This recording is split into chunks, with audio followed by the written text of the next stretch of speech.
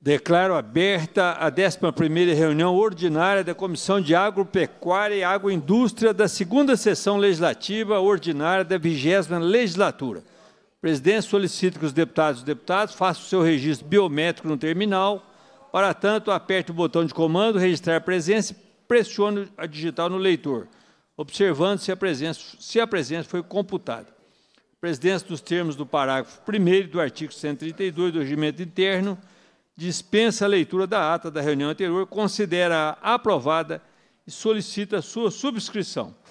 Eu vou suspender a, a, essa reunião por tempo determinado até chegar o nosso querido deputado Raul Belém.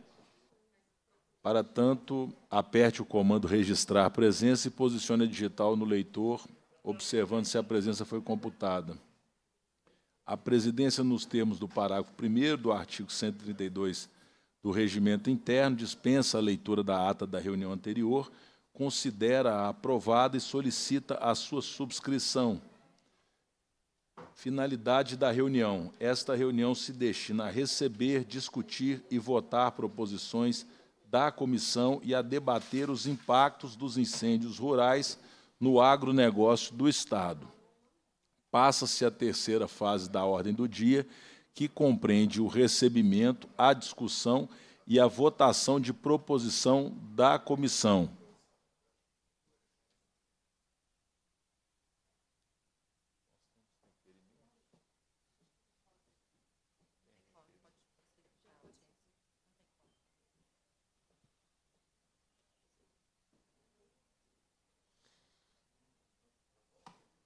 Passamos à terceira parte da reunião de comissão, a primeira fase da terceira parte da reunião, que compreende a audiência pública.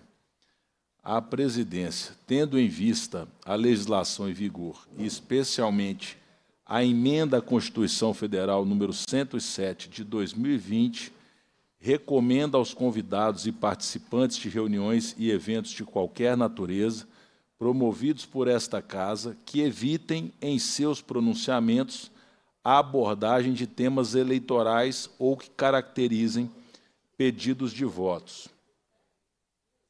Passamos aos convidados da reunião.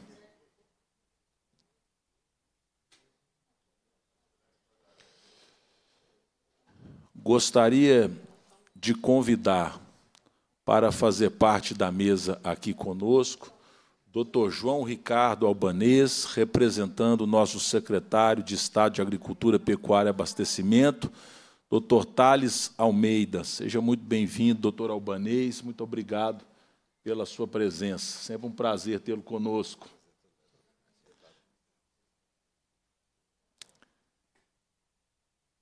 Convidamos também a senhora Bianca Landau Braille, chefe do Departamento Estadual de Investigações de Crimes contra o Meio Ambiente da Polícia Civil de Minas Gerais, representando doutora Letícia Batista Gamboges, chefe da Polícia do Estado de Minas Gerais.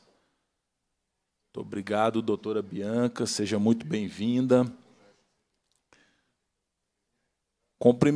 Cumprimentamos e convidamos para tomar assento aqui à mesa a senhora Mariana Pereira Ramos, gerente de sustentabilidade do sistema FAENG, representando o nosso presidente Antônio Pitangui de Salvo, que preside a nossa querida Federação de Agricultura e Pecuária do Estado de Minas Gerais.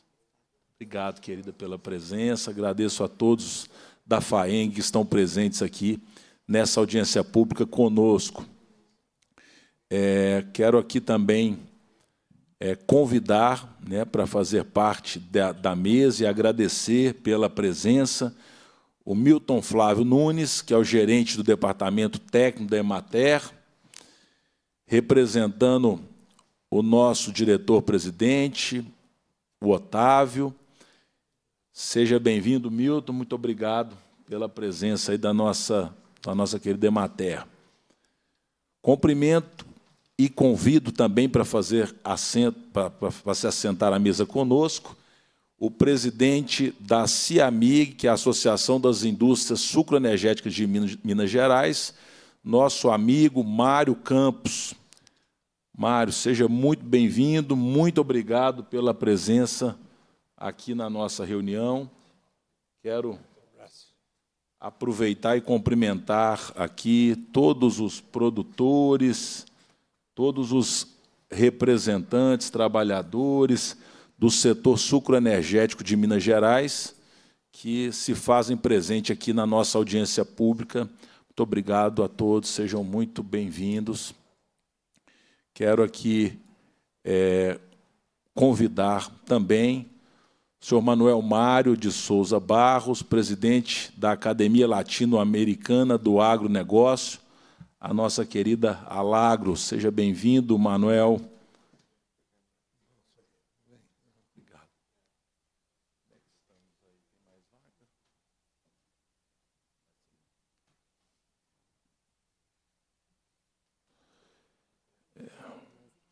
Eu gostaria de convidar para fazer, é, para se assentar à mesa e agradecendo também a presença, aqui representando é, o presidente da Associação dos Fornecedores de Cana da região de Campo Florido, o senhor Ademir Ferreira de Melo Júnior, é, o Renato Aparecido Roque, que é o representante jurídico da Associação dos Fornecedores de Cana da, da região de Campo Florido, da Cana Campo.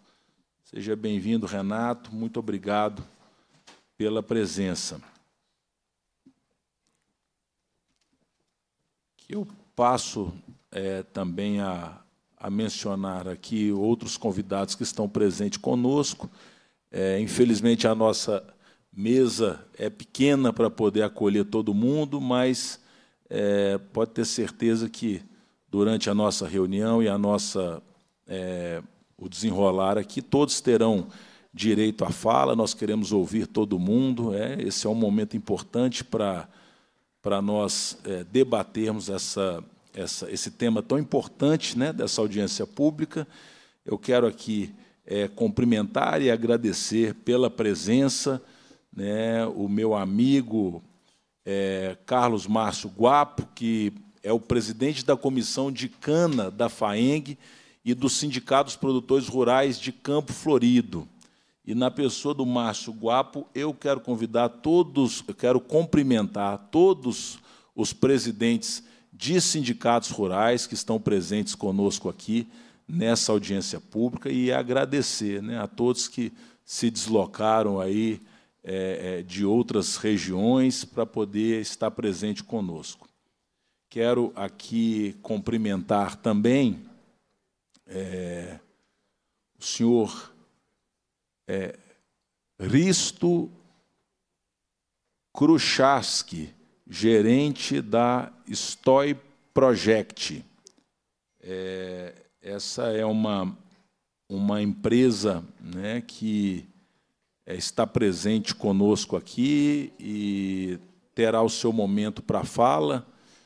E é um tema muito interessante em relação à questão é, de como é que eu posso dizer, né? São, são chuvas escassez da chuva, ele então é, é semeadura de chuva. Semeadura de chuva, é, essa é a é o termo correto. Semeadura de chuva, é nós todos estamos precisando muito da chuva com certeza é um tema que chama muito a atenção. Já lemos a respeito, temos acompanhado alguns países que têm utilizado, e é de todo o interesse né, da nossa comissão, do Estado de Minas Gerais, poder ouvi-los né, e buscarmos alternativa para escassez de chuva e para estiagem. Seja muito bem-vindo. É,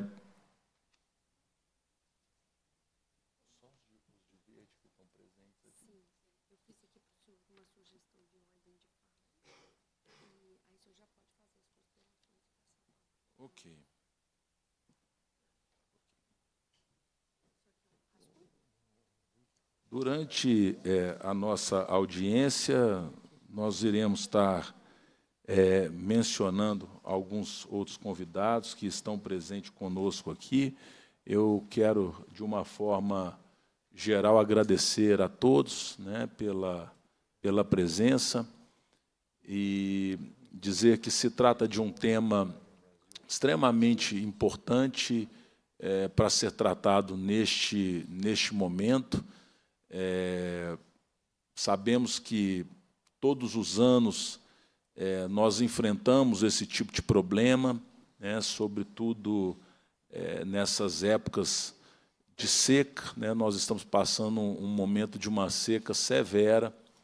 É, agora estamos vivendo algo é, que eu acho que não tínhamos passado né, por, por tamanho é, é, é estrago através dos incêndios, como nesse ano. Né. Então, nós não podemos, de maneira alguma, nos isentar de discutir esse tema, buscarmos soluções, é, discutirmos sobre a questão do, da capacidade é, do Estado de poder é, dar esse, esse atendimento. Eu tenho certeza né, que os nossos produtores estão todos é, prontos para poder ser, já são, né, e ampliar ainda mais a parceria, porque são os maiores prejudicados desses incêndios, que na maior parte são incêndios criminosos que têm acontecido é, no nosso estado, tem acontecido no estado de São Paulo, tem acontecido em Goiás, tem acontecido nos Mato Grossos, tem acontecido é, no estado do Amazonas, tem acontecido em muitos lugares. E, primeiramente, assim, a gente queria deixar muito claro né, que o produtor rural é vítima né, de tudo o que está acontecendo. É, o produtor rural é o grande prejudicado de tudo o que está acontecendo em relação a esses incêndios, que tem a sua é, produção comprometida, né, e nós vamos falar aqui, é, são, muita, é, são muitos hectares de cana, de pastagens, é, de outras culturas que foram completamente destruídos pelo fogo. E isso leva tempo para recuperar, leva dinheiro para se recuperar. Né? Então, eu acredito que é momento para nós discutirmos, inclusive, a questão de é, financiamentos, né, nós que é, sabemos que muitos têm acesso ao plano safra, é, não sabemos a questão do seguro do plano safra. Nós vamos estar discutindo sobre isso aqui também, né, qual é o tipo de cobertura do plano safra. Discutir também sobre a questão é, de aumentar né, a carência para o pagamento daqueles que foram afetados. Certamente, é, a agroindústria vai sofrer com isso também. Né? O ano que vem, é, esse ano já, já está sofrendo, porque nós, como nós estamos perdendo é, insumos, né? nós estamos perdendo é, é, é, cana, estamos perdendo o, é, é, café, tem região que está perdendo até café, no sul de Minas, café sendo queimado. Com certeza isso vai afetar a nossa agroindústria, né, e o Estado irá produzir menos etanol, produzir menos açúcar. Né, isso é, acaba que envolve diretamente a questão da empregabilidade no nosso Estado também. Né? Então, assim, temos muitas coisas importantes a serem debatidas. É, mas vamos prosseguir com a nossa reunião. Eu queria perguntar, né, primeiro cumprimentar meu amigo, irmão aqui, deputado doutor Maurício, que é membro efetivo dessa comissão, um grande deputado, atuante, defensor do nosso agro, do nosso produtor rural. É, doutor Maurício, o senhor gostaria de fazer as suas considerações iniciais? Passo a palavra ao deputado doutor Maurício. Agradeço o presidente Raul Belém, realmente o mentor aqui do agronegócio da nossa Assembleia. Eu sou muito preparado. Quero inicialmente, Raul Belém, dizer que, por sorte, por coincidência, nós temos alguém aqui que vai trazer chuva para nós, o homem faz chover, que é o Cristo, é o Cristo é. Está junto com o cônsul aqui da Bulgária, ele é búlgaro, então ele trabalha em vários países, inclusive na Argentina, já visitou várias partes do Brasil, inclusive pessoas do nosso governo aqui, o Coronel Guedes e outros, já, já visitaram a Bulgária, onde ele tem exército de trabalho maior.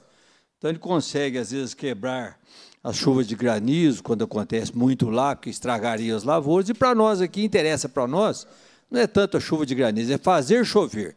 Então ele promove a semeadura de chuva. Então, num raio, por exemplo, de 300 mil hectares, ele usa mais ou menos 300 quilos de produtos químicos, sódio, potássio, prata, e essa pulverização faz com que chova. Isso ele pode provar ele, com o trabalho dele em vários países. Ele está aqui hoje para fazer uma fala para nós rápida, de cinco minutos, trouxe o seu intérprete, porque senão nós não entenderíamos.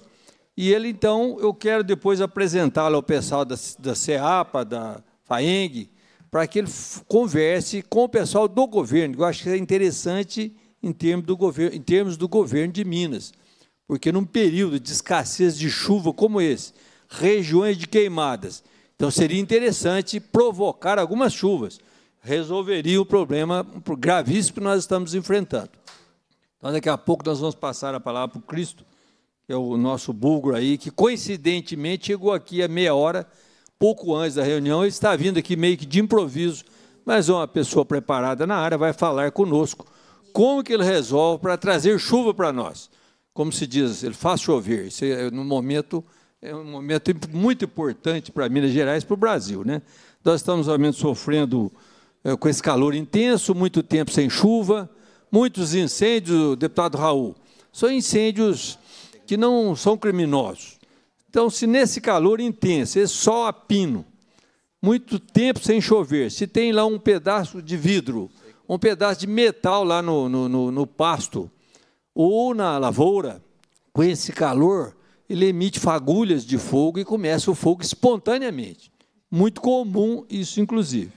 Então, nós temos que ficar de olho nessa parte e também ficar de olho na parte criminosa, porque nós sabemos, temos inclusive filmes, de pessoas que colocam fogo na lavoura, na pastagem, está prejudicando terrivelmente a agricultura, o agronegócio, inclusive o preço lá para o consumidor. Porque se queima a lavoura, diminui o produto, o alimento. Se diminui o alimento, a lei da oferta procura aumenta o preço.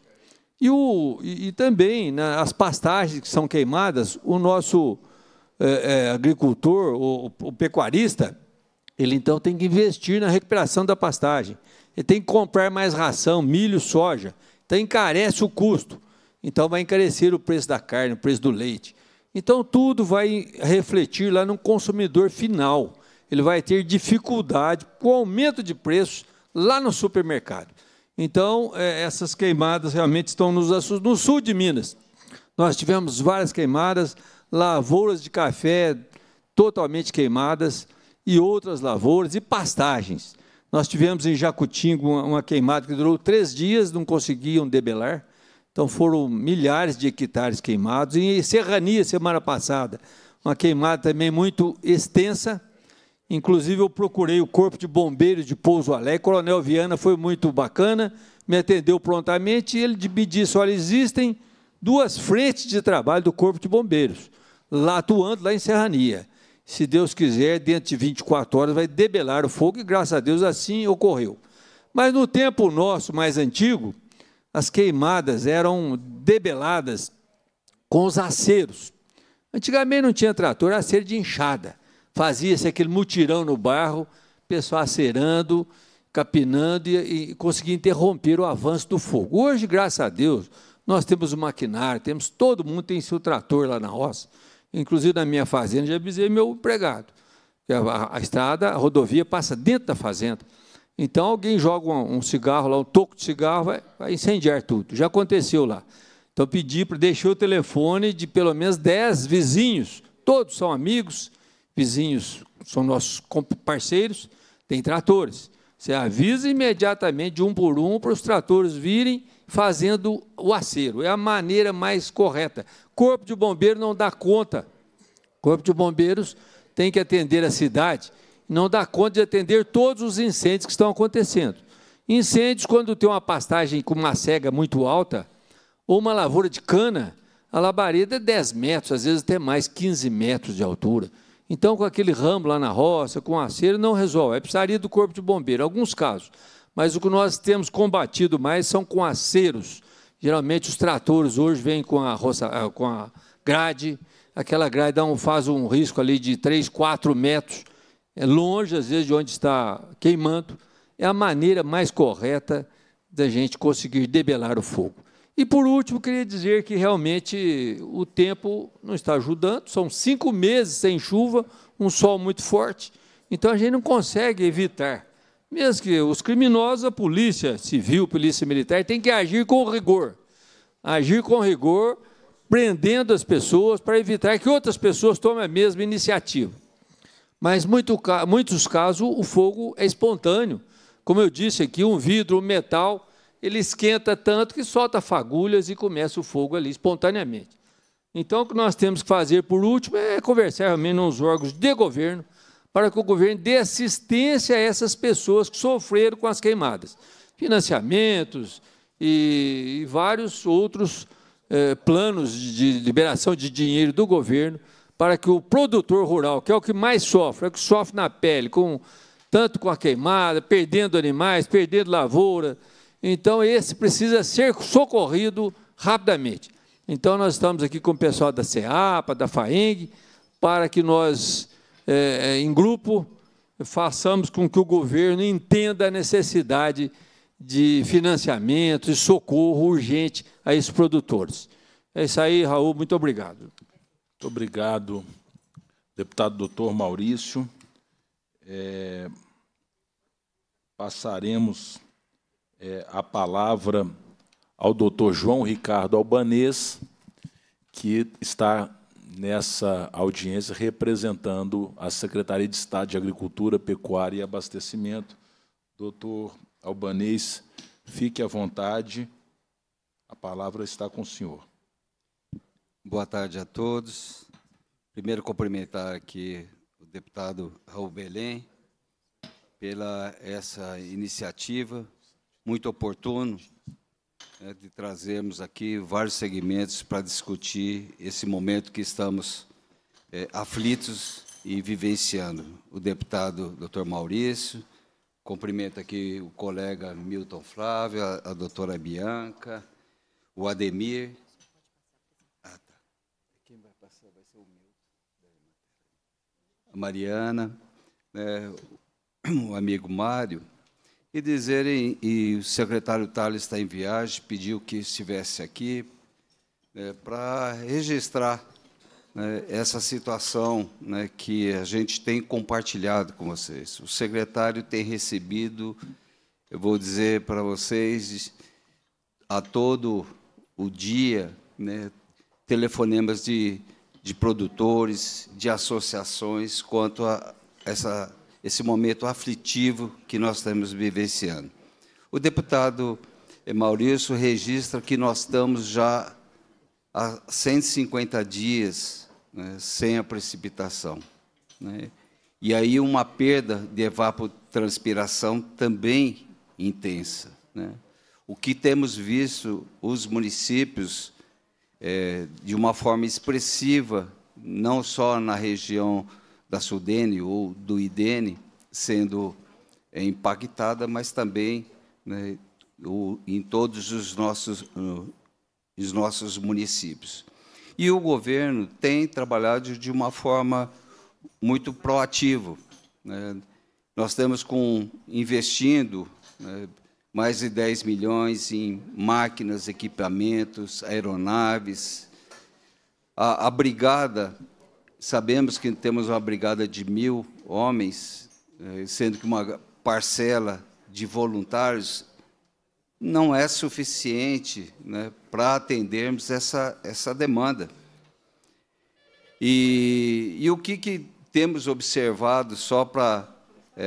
Estava é, conversando com o Mário em 2021, nós tivemos 24.200 pontos de incêndio detectados.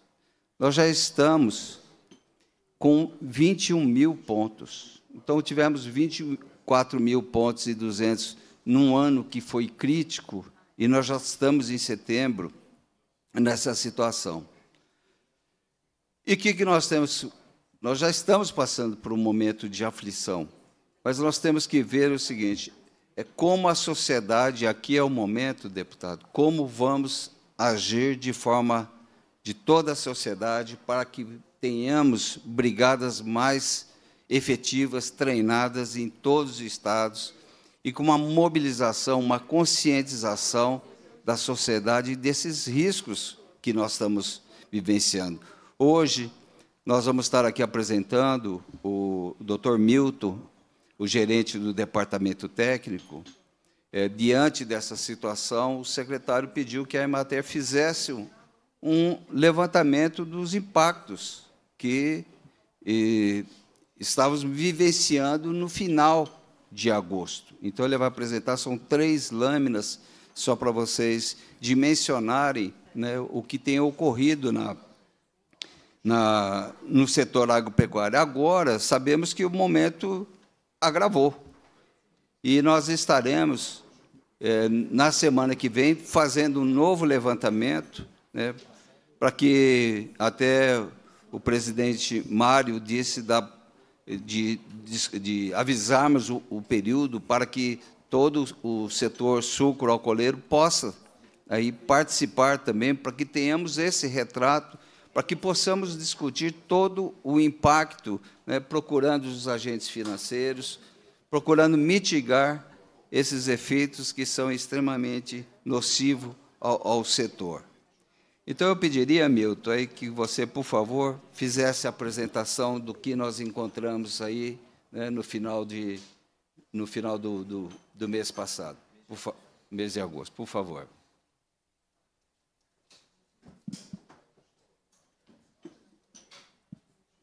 Boa tarde a todos. Obrigado pela oportunidade, presidente Raul Belém. É, bom, o, o, secretário e a diretoria da Emater nos, nos demandou que a gente fizesse um, um, levantamento no final de agosto. Então, alguns aí, principalmente o doutor Mário, né, da CIAMIG, vai vai observar que ele já está defasado, porque dia a dia nós sabemos que novos focos é, acontecem. Né? Mas só para a gente ter uma visão do que acontece é, de forma bem pontual, né? no mês de agosto, nos últimos 20 dias que esse levantamento foi feito, nós tínhamos 1.963 é, é, fo focos. Né? Já foi dito aí que nós já já passamos de 20 mil focos, mas é bom que a gente entenda que é somente no final do mês de agosto.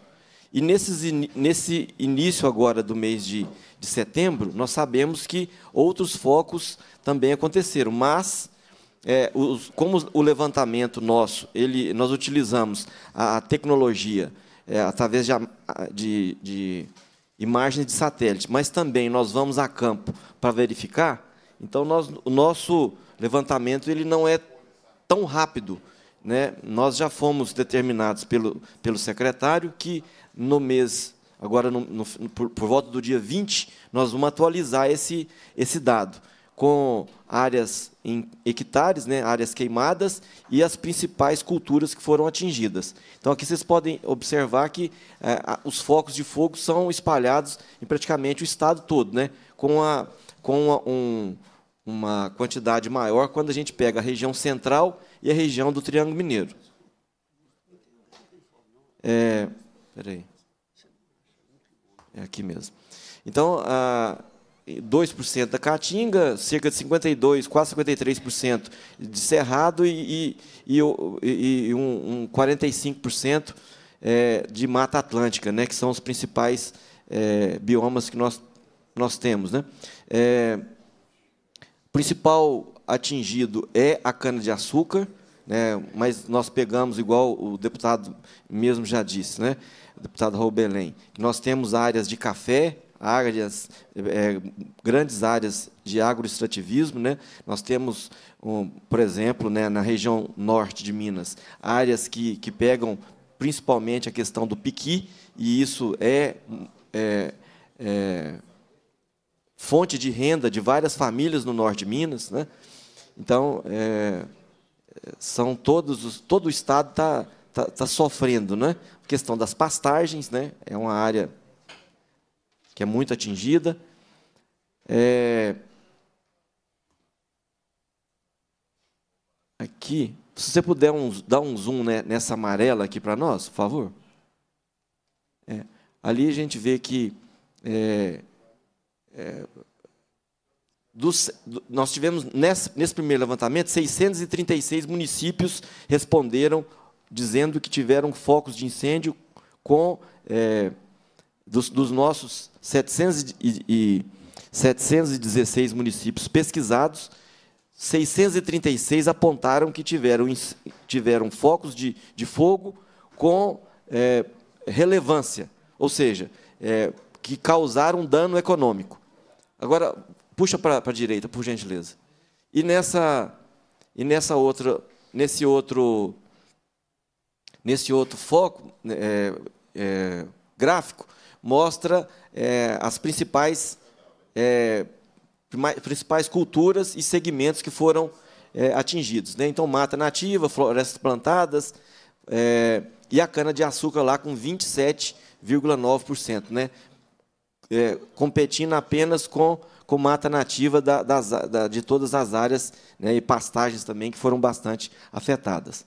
Então, como eu disse, isso é um levantamento que foi feito é, nos é, últimos dias de, de, de agosto, lembrando que é, ele, esses incêndios, focos de incêndio, eles não são, eles não são é, rep, repetidos, eles são focos de incêndio atuais, e então hoje nós teremos certamente um número diferente, né, mostrando a gravidade disso ao final do mês de agosto e agora no mês de setembro, é, provavelmente com um número muito maior do que nós tínhamos ao final de agosto. É só isso.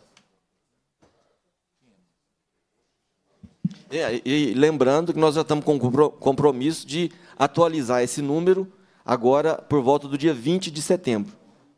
Torcer para que não precise, né? Se cair água, resolve, pelo menos por, por horas. Muito obrigado, Milton pela, pela apresentação.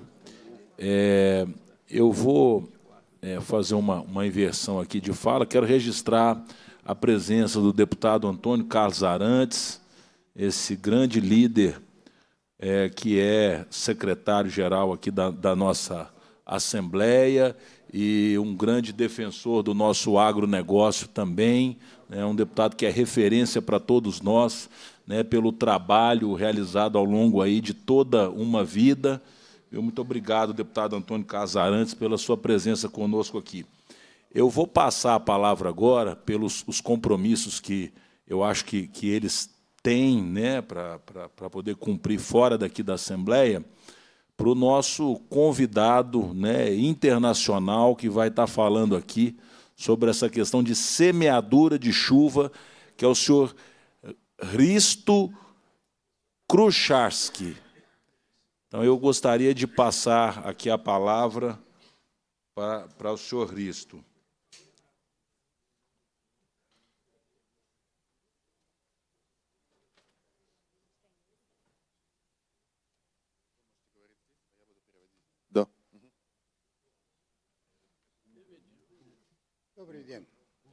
Boa tarde para todos. Я из Болгарии приехал по другим делам, но попал на эту интересную ситуацию. Sou da Bulgária e realmente eu cheguei para cá para outros negócios, mas coincidentemente eu me encontrei aqui com essa comissão. Это моя профессия, я 25 лет работаю на эту тему. Então, o, o foco dessa comissão é a minha profissão. Na real, já trabalho por mais de 25 anos com esse assunto. Не только Болгария, Румъния, Молдова, а, Грузия, Греция, сейчас а, а, Узбекистан и Не- Объединенные Арабские Эмирства. Nem apenas na Bulgária, mas também na Romênia, na Moldova, na Geórgia, agora também no Uzbequistão e nos Emirados Árabes Unidos. Эта тема очень интересна во всей мир. Ah, este tema é mundialmente interessante. Несколько компаний работаем на эту тему вече больше от 10-15 лет. Com algumas empresas já estamos colaborando durante mais de 10 anos. Я в вашем район приехал 7 лет назад Pela primeira vez eu cheguei para Minas Gerais há sete anos. с мои люди, смотрели и сделали одна презентация. Я не знаю, презентация есть у Ренату. Então, o- o- Что можно сделать по осадка на этой территории? ah, e os meus peritos, os meus especialistas, analisaram o tempo, o clima desse território e prepararam a apresentação como é possível aumentar a quantidade das precipitações, como aumentar, como chamar a chuva nesse território. Значит, на первый счет, который мы сделали, это минимум 15% увеличения осадки можно пройти. Então, ah, o primeiro resultado no primeiro ano pode ah, ser de, no mínimo, 15% de aumento das precipitações.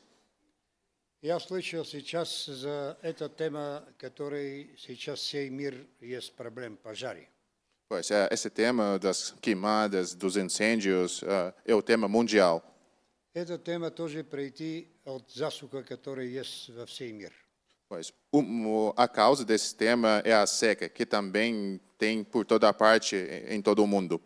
Болгария, мы сделали счет на это пожаре, которые были, И оказалось, что на 30% от этого, с- 50% от этого пожара можно пройти осадка, который помочь в потушении пожара.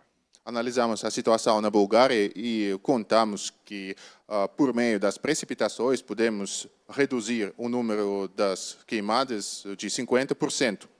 Наше правительство сейчас начинает разговор за работа на увеличение осадки. Agora, o nosso governo começa a negociação sobre aumento das precipitações ah, no decorrer do ano todo. С этого увеличаем влага в земля, и э, это предпоставка за намаление пожара. Ah, desta forma, a gente pode aumentar então, a concentração de água no solo e, assim, reduzimos o número dos incêndios. Если интерес, мы можно сделаем на это пожаре, который смотрели.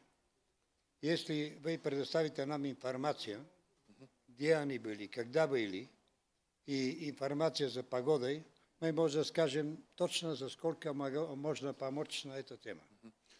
Se a prezada comissão tem interesse, se a gente eh, estiver pronto para nos dar todos os dados dessas queimadas, então, onde aconteceram, ah, que tempo, que clima tem nesse território, a gente pode analisar e contar ah, quanto tempo vai levar para nós, então, reduzir o número dos incêndios. Значи, э, сейчас э, у меня пришла и Франция тоже на тема осадка. Покупает от меня э, реагент, который использует за увеличение осадки. Há pouco tempo começamos colaboração com a França. A França então compra os reagentes que eu uso para aumentar a chuva, Потому что и там тоже это проблем пошел. porque esse, esse país também enfrenta este problema. Так что я открыт за еще при- а, приездка сюда с моими людьми, посмотрим, обсудим. У вас тоже есть метеоролози, поговорим прямо.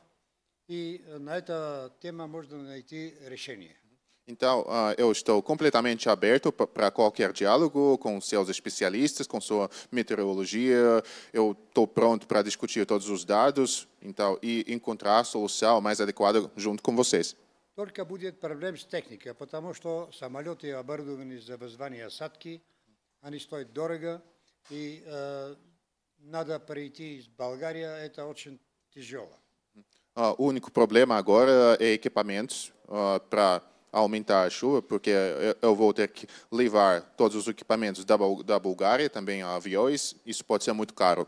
Но я могу дать моя технология, мои чертежи, и сюда сделает свое, и начинаем проба на эту тему. Mas eu posso prestar minhas tecnologias para o Brasil, posso prestar meus desenhos técnicos, a gente pode reproduzir tudo isso aqui e vamos começar a trabalhar juntos. Если, если есть интерес. Se é interessante para vocês. Спасибо. Só isso, obrigado.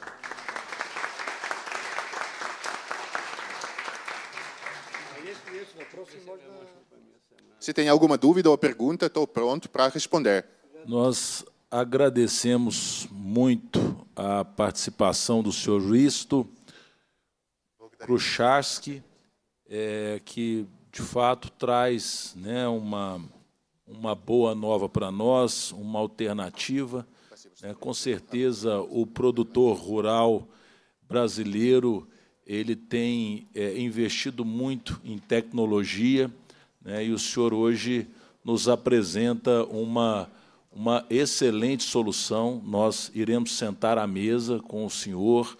É, eu tenho certeza que o governo do Estado também é, terá o interesse de poder conversar sobre esse assunto, aprofundar, é, para que nós possamos é, discutir é, questão de, de é, é, regulamentação, legislação é, brasileira em relação à, à- aplicação dessa técnica. Né? Infelizmente, nós estamos num país que ainda é um pouco burocrático demais, especialmente é, para a classe, a classe produtiva que é, tem pressa e quer fazer com que as coisas aconteçam, nós ainda temos as burocracias que travam alguns processos, mas com certeza nós vamos evoluir né, e a- através de, de um, bom, um bom diálogo aí com, com, com o doutor Risto.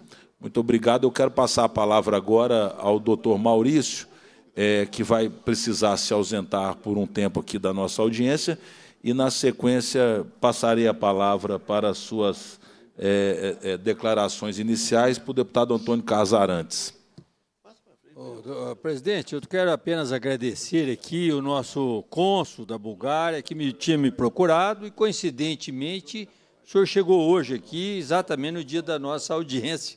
Muito interessante, um momento até de sorte nossa, porque eu, eu percebi que sou Cristo Kuchavs, que ele tem muita experiência e tem feito um trabalho relevante, não só na Europa, que na Argentina também, que já me falou, inclusive nos Estados do Sul já trabalhou também nesse sentido.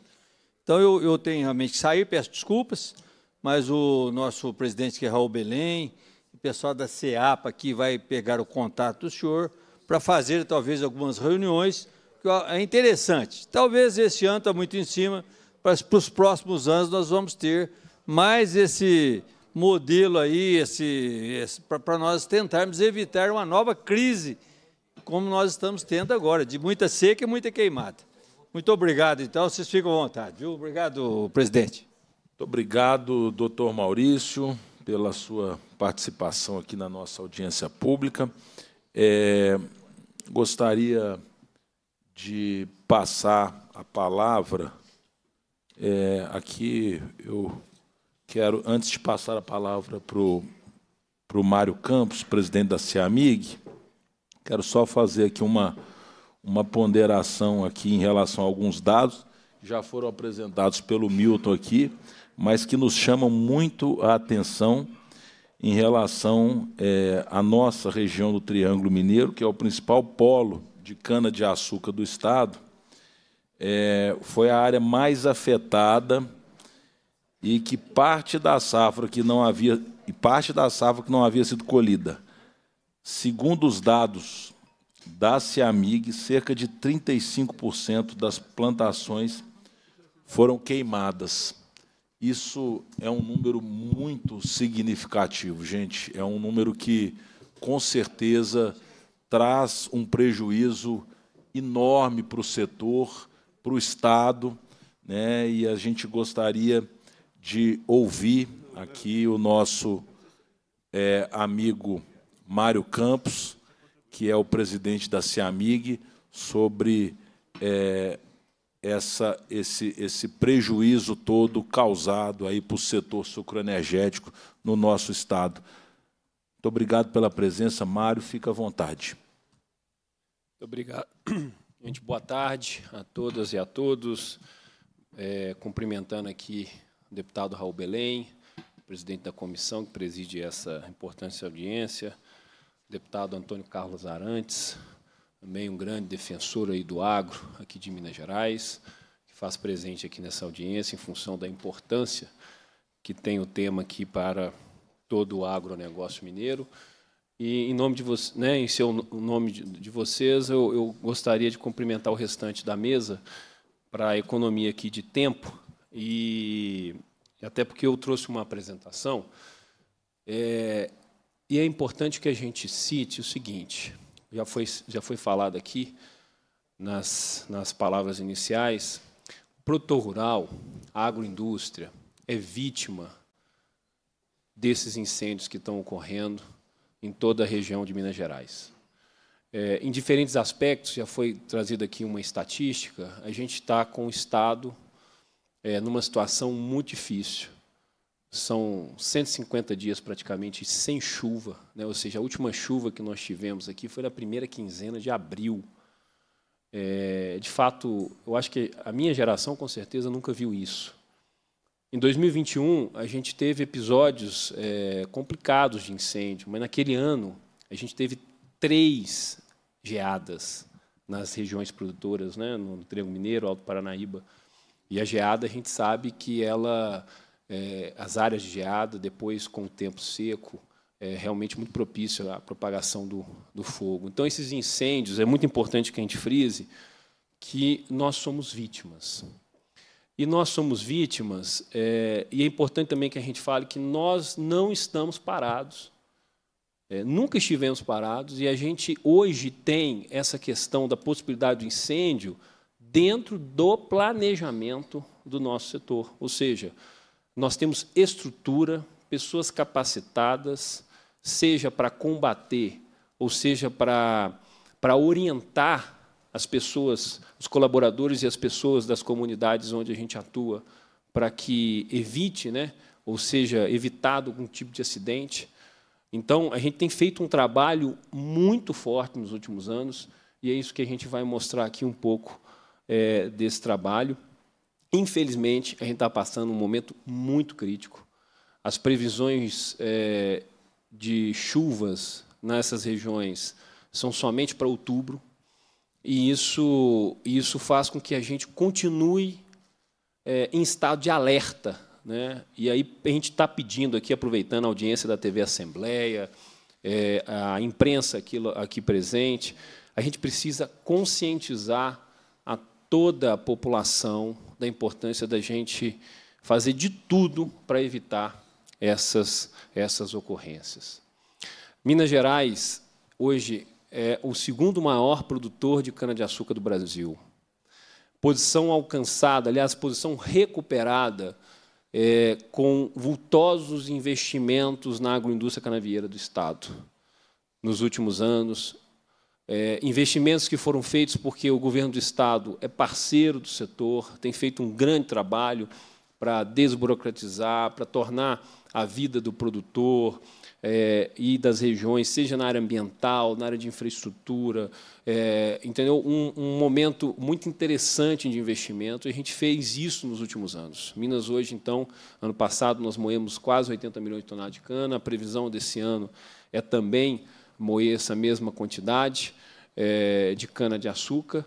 Mas, em função dessa, dessa grave crise climática que a gente está passando, essa seca severa, a gente já vislumbra para o ano que vem, para a safra 2025-26, uma grande quebra de safra. E não é só em Minas Gerais, né? também é, na região de São Paulo, Goiás, ou seja, toda a região centro-sul é, do Brasil, nós vamos ter um grande efeito. E esse efeito não é não só em função da seca, mas também em função dos incêndios que prejudicam não só a safra corrente, mas também a safra futura. A, a nossa principal região produtora é a região do trigo mineiro, que tem mais aí, tem quase 78% da nossa produção de cana de açúcar, é onde estão localizadas as maiores áreas e de fato onde a gente observou maiores ocorrências nos últimos, é, nos últimos, é, no último mês, né? Ah, então aí já falei, Minas é né, o segundo maior produtor. E qual foi o impacto inicial que a gente conseguiu quantificar? Viu, deputado Raul Belém? É, veja, aqui vale um esclarecimento. Nós temos, como eu mostrei nos slides anteriores, a gente tem quase já 70% da safra já realizada. Então, nós eliminamos a queima da palha da cana-de-açúcar em Minas Gerais há muitos anos. A gente tem apenas hoje 0,5% da área ainda, é, principalmente na região da Zona da Mata, onde você tem um relevo acidentado, onde nós não temos é, condição de mecanizar aquela área, até uma questão até social para aquela região. Ali a gente ainda tem algum tipo de queima. Mas nas outras regiões do Estado a gente não tem a, a queima mais controlada da palha. Tá? Então, nós não fazemos queimadas. Isso é muito importante para que a, a população tenha consciência. É, a gente sabe que no passado a gente fazia queima controlada, mas hoje nós não fazemos. É, então é muito importante que a, gente, que a gente fale isso. E nós não queremos os incêndios, não queremos a cana queimada. Ela prejudica, essas áreas que são queimadas, elas prejudicam todo o processo produtivo. Então, o que, que nós tivemos nos últimos 30 dias, né? digamos, praticamente 30 dias? Nós temos aquela área que ainda não foi colhida, né, que a gente chama de pré-colheita. Né? Então, a área que ainda tinha cana em pé, e nós já estamos no último terço da safra, então essa cana, em boa parte, estava próxima do momento ideal de corte, e a gente tinha as áreas pós-colheita. Quem conhece né, a produção sabe que a máquina, quando colhe, ela, ela faz o corte ali da cana, né, dos toletes da cana, e ela sopra a palha, e a palha fica no campo. Então, a palha da cana ela é super importante, ela tem uma função agronômica muito importante para, essa, para essas áreas. Então, nós, temos, nós tivemos problema na área pré-colheita e na área pós-colheita. Nós quantificamos até sexta-feira, semana passada, 45 mil hectares tiveram algum tipo de foco. 30 mil hectares de área pré-colheita, ou seja, cana que foi queimada e que teve que ser cortada de imediato, é, e 15 mil hectares de área de palha. E aí nós temos dois efeitos importantes. Primeiro, a área pré-colheita ela vai afetar esta safra. É, essa cana é uma cana que não necessariamente estava pronta para ser colhida, então ela teve que ser colhida de forma imediata. A gente leva ela para a indústria e a gente na maioria dos casos, há uma dificuldade que a gente chama de cristalização né, da sacarose que está ali contida na cana. Ou seja, ela perdeu qualidade. E aí eu não consigo fazer açúcar. Né? E Minas é o segundo maior produtor de açúcar é, e o segundo maior exportador de açúcar do Brasil. Então, isso impacta não só o mercado interno, como o mercado internacional. Tá? Então, essa cana eu não consegui fazer açúcar e vou fazer etanol. Em, algumas, em, alguns, em alguns casos, eu tinha compromissos de entrega desse açúcar, e ao não conseguir fazer esse açúcar, fazer, eh, vou ter que fazer etanol, eu perco esse compromisso e tenho que pagar por isso. Então, esse é um efeito na questão da produção do açúcar. Obviamente, nesse primeiro momento, eu posso até aumentar um pouco a produção de etanol, porque o meu mix ficará mais alcooleiro. Então, esse é o efeito nessa cana que foi queimada, aquela cana inteira que foi queimada. A área pós-colheita ela é mais complexa. Primeiro, é que com os ventos fortes, o combate nessas áreas do, dos incêndios é mais complexo, ela se espalha mais. É, essa palha, como eu já, já citei, ela tem uma função agronômica, então a perda dela vai prejudicar a rebrota dessa cana. Em algumas áreas já tinha rebrota, porque a gente está com, tá com a safra desde abril, então a cana já tinha rebrotado. Ela praticamente ela se perde, e aí nós temos que esperar para ver se essa área ela vai rebrotar novamente e como ela vai rebrotar. Então, em muitos desses, dessas áreas, em muitas dessas áreas, nós vamos ter que fazer o replantio. Então, o efeito na área pré-colheita foi em torno de 2 milhões de toneladas. Minas vai moer 80 é, milhões de toneladas, então é um efeito significativo. E o, o, prejuízo inicial quantificado é em torno de 180 milhões de reais só no segmento de bioenergia aqui em Minas Gerais. Tá? É, isso eu falo inicial porque, de fato, é, em muitas dessas áreas onde ocorreu esses incêndios, na área de palhada, nós vamos precisar fazer um plantio, e hoje um plantio de um hectare de cana-de-açúcar é, depende da região, mas está entre, em torno aí de 12, 13, 14 mil reais, se não mais. E também em muitas dessas áreas de palhada, a gente já tinha aplicado, a gente já tinha feito aplicação de herbicida, aplicação de fertilizante, é, e aí se perde realmente tudo e nós vamos ter que repetir todo esse processo. Bom, as causas dos incêndios, a gente, muitos já falaram aqui, mas de fato, né, é, onde tem gente é propício a ter incêndio, tá? As atividades criminosas, infelizmente, a gente tem que lidar com as atividades criminosas lá na região. É, quem conhece as áreas sabe que a área de cana não tem cerca. Né? Nós temos diversos carreadores. Tá? Infelizmente, muita gente gosta de fazer isso, seja de forma, é, é, de forma intencional, com intenção, ou seja, até sem intenção. Né? Gente até colocou, ainda tem ainda as questões em algumas localidades, em função de práticas religiosas, a gente vê ainda é, muitas, muitas ocorrências em função disso. Tá? Ah, e aí eu queria colocar aqui um ponto importante, porque também na região lá é uma região que tem muitos ranchos, porque tem muitos rios, tá? então tem que tomar cuidado com essas fogueiras. A gente também tem as beiras das rodovias, é, seja e lá na região agora nós temos a presença das concessionárias, então tem tanto federal quanto estadual. É, então é um cuidado maior que a gente tem. Muitos incêndios vêm de beira de rodovia e também muitos incêndios vêm da rede elétrica. Redes elétricas antigas, sem estrutura, que com o vento acaba tendo algum tipo de problema, cai no chão, energizado, na palha seca, a gente tem realmente um, um ponto aí dos incêndios na região. É, os fatores naturais, né, nós não tivemos ainda esse ano, até se tivesse, quer dizer que chuva viria, mas quando vem os raios também é um problema. Tá? Então, esses são os fatores que normalmente a gente identifica tá, com manutenção também de equipamentos, né, próprios veículos mesmo automotores, quando entram em certas propriedades, é, só o fato de você andar ali, algum, algum tipo de centelha que sai do veículo, pode ocasionar incêndios, incêndios grandiosos é, na região. E aí, como eu citei, é importante que se faça a limpeza das beiras das rodovias e a limpeza das faixas de, de servidão das redes elétricas. Tá? É, foram identificados vários casos nessas áreas, então a gente faz um apelo aqui é, a todo órgão. No final da apresentação, a gente faz aqui em torno de nove sugestões para que a gente possa de, é, reduzir realmente os incêndios na região.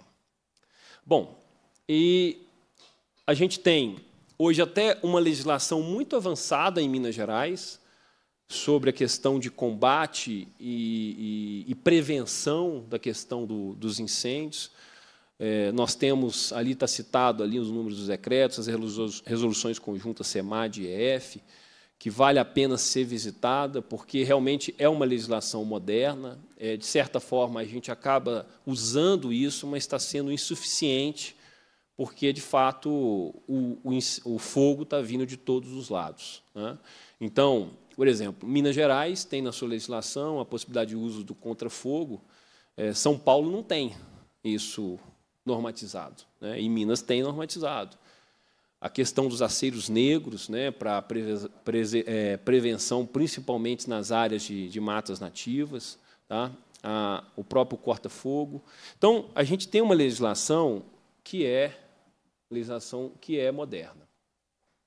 A gente faz um trabalho muito forte, e aí é, as empresas, muitos, muitos de vocês, o deputado Raul Belém, o deputado Antônio Casalães, conhecem muitas dessas empresas, já estiveram, inclusive, em algumas, sabem a, a, o quanto essas empresas têm, é, têm a responsabilidade com a comunidade. Né? Nós, nós estamos fazendo gestão, gestão de áreas imensas, de áreas que estão ali em torno da unidade agroindustrial, então, a gente tem uma estrutura muito grande, então, equipamentos especializados para combate a incêndios, é, uso, a gente faz uso de retardantes de incêndios, a gente é, tem profissionais treinados. Aliás, eu queria aqui fazer uma, aproveitando a Mariana, nós há alguns anos fizemos, junto com o Senar e o Corpo de Bombeiros, é, um curso onde vários colaboradores das usinas puderam fazer é, um curso onde tinham quatro módulos, o último módulo, inclusive, era um módulo prático.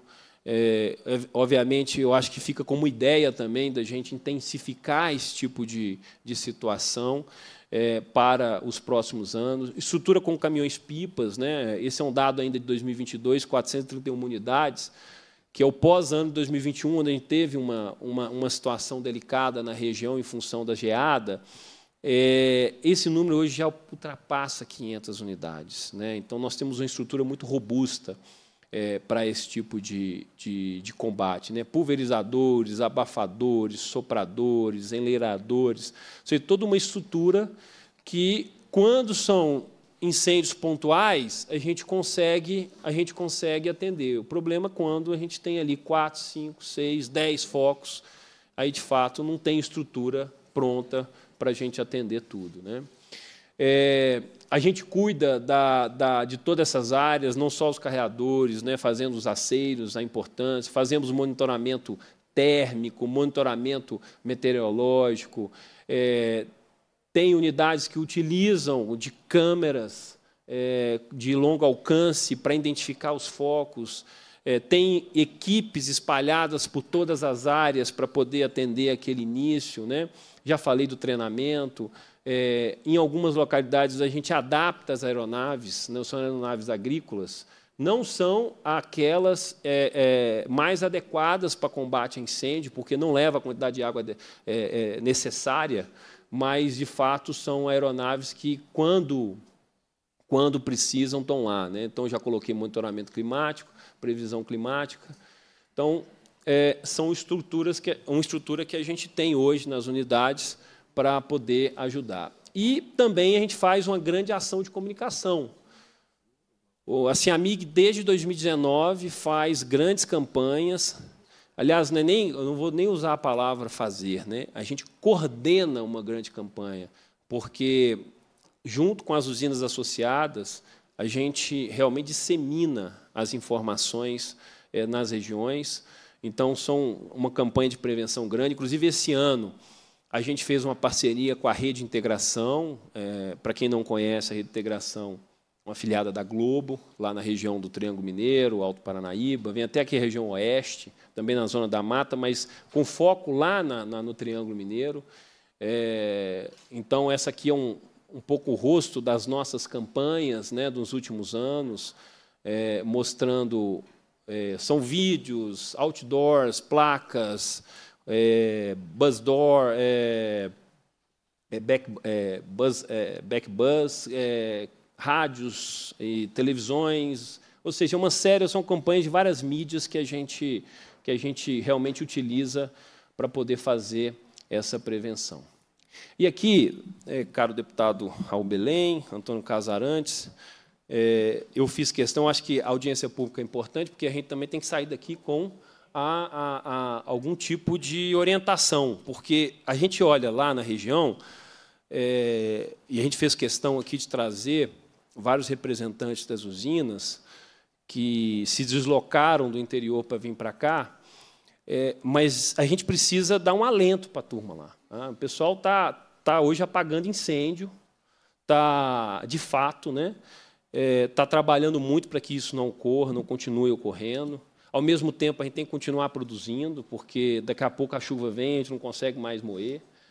É, então, ou seja, a gente precisa, a gente precisa de fato ter, ter alguma coisa efetiva, né? Então, como sugestão aqui para para a audiência, e, claro, depois fico à disposição para, para debater, a gente trouxe aqui nove, nove medidas. Tá? A primeira, eu já citei, é a questão das rodovias. Tá? A gente precisa melhorar a gestão das faixas de domínio. Aí não é, não é aqui não é culpar DR, DENIT, concessionária, o fato é que precisa mudar. Tá? Para que em anos iguais a esse a gente não tenha as mesmas ocorrências. Então, como eu citei, muitos incêndios vêm das rodovias. Então, essas rodovias têm que ter, nas suas faixas, as, as faixas de domínio têm que estar limpas. E limpa no momento adequado, não adianta chegar lá agora e limpar. Né? A gente precisa limpar isso antes do período mais crítico. O período mais crítico, gente, é julho, agosto, setembro. Né? Então, a gente tem que ter essa consciência e ter isso como objetivo. O segundo, a faixa de domínio das redes elétricas e a estrutura, a estrutura dos postes e das, e, e, da, e das torres. A gente ainda tem muita estrutura com madeira, tá? as famosas que eles chamam lá de cruzetas e travessas de madeira, que com vento forte caem energizadas e são sim causadores de incêndios. Então precisamos, a gente sabe que a CEMIG tem feito já um trabalho de trocas, de modernização, mas precisa nessa região precisa intensificar esse processo. Tá? É, sobre as forças policiais, é continuar fazendo, de fato, o trabalho efetivo que tem sido feito. Identificar naquilo que é possível é, é, e punir né, aquelas, aquelas pessoas, que, prender mesmo essas pessoas que estão colocando fogo.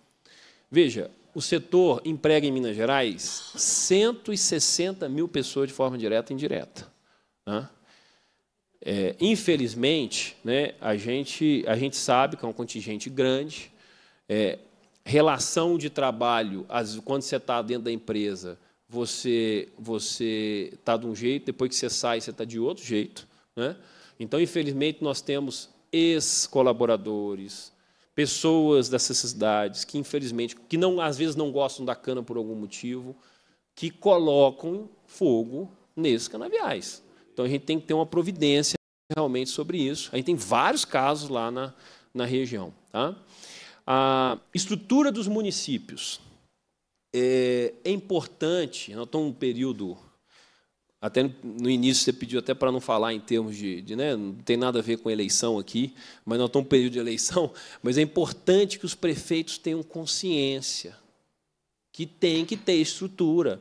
Os municípios lá são essencialmente agrícola, é a principal atividade da região, precisa ter algum tipo de estrutura para auxílio, porque ao mesmo tempo que nós estamos apagando os incêndios nas áreas do canavial, a gente está recebendo, recebendo solicitação dos municípios para ajudar a apagar incêndios dentro da área dos municípios, dentro das cidades. Né? Então a gente não, a gente precisa ter estrutura para isso. Tá? Então a estrutura dos municípios é muito importante é, que a gente tenha esse tipo de consciência. Tá? É, esse é um caso, o item 5, muito importante. Veja, é, esse, a gente sabe que o pré-incêndio passou para o Corpo de Bombeiros. Tá? O objetivo, né, na época do pré-incêndio, eram as áreas dos parques, das unidades de conservação.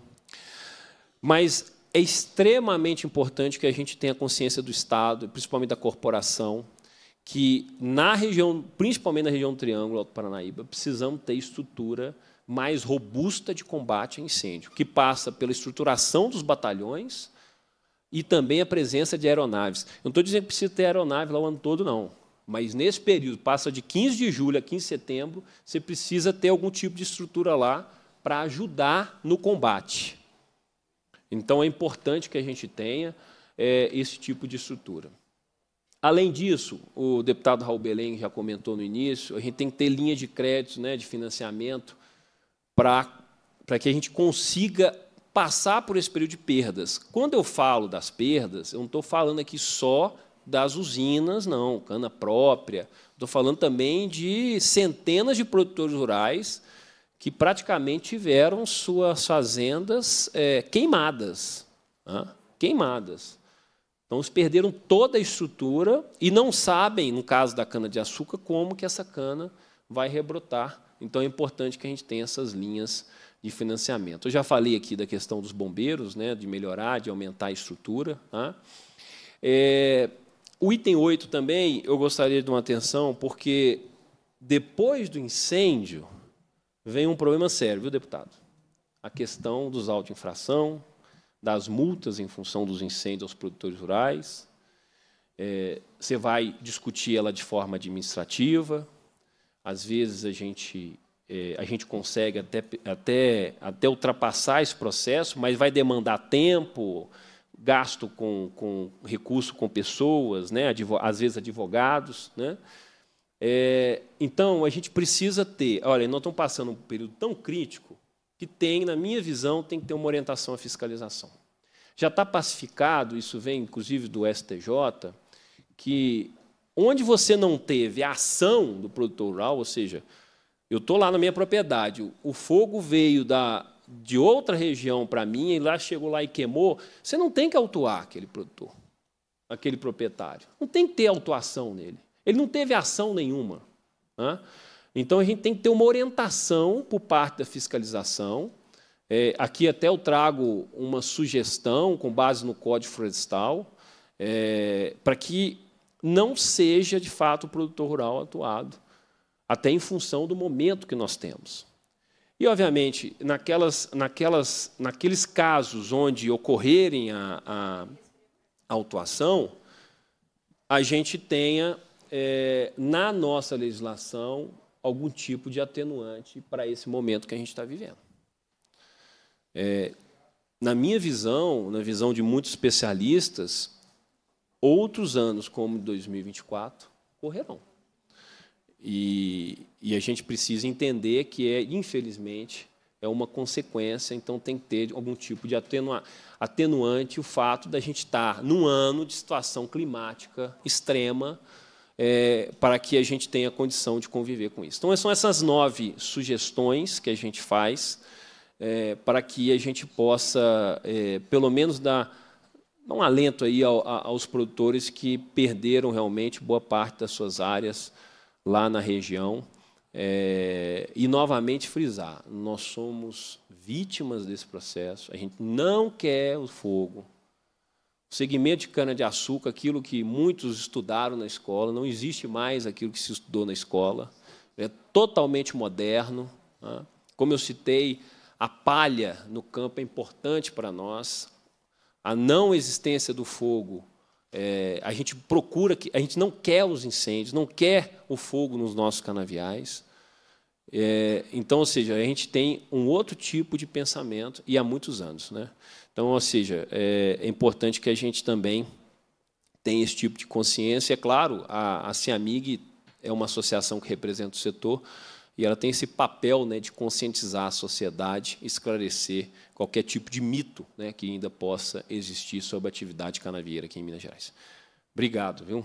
Desculpa aí o tempo que eu, que eu tomei aí da audiência. Imagina, presidente Mário, nós que agradecemos aqui por toda a apresentação, as informações relevantes que o senhor passa a essa audiência pública e também todas as é, boas propostas né, para que nós possamos colocar em prática e resolvermos, né, em boa parte, os problemas causados pelos incêndios é, na nossa, no nosso Estado.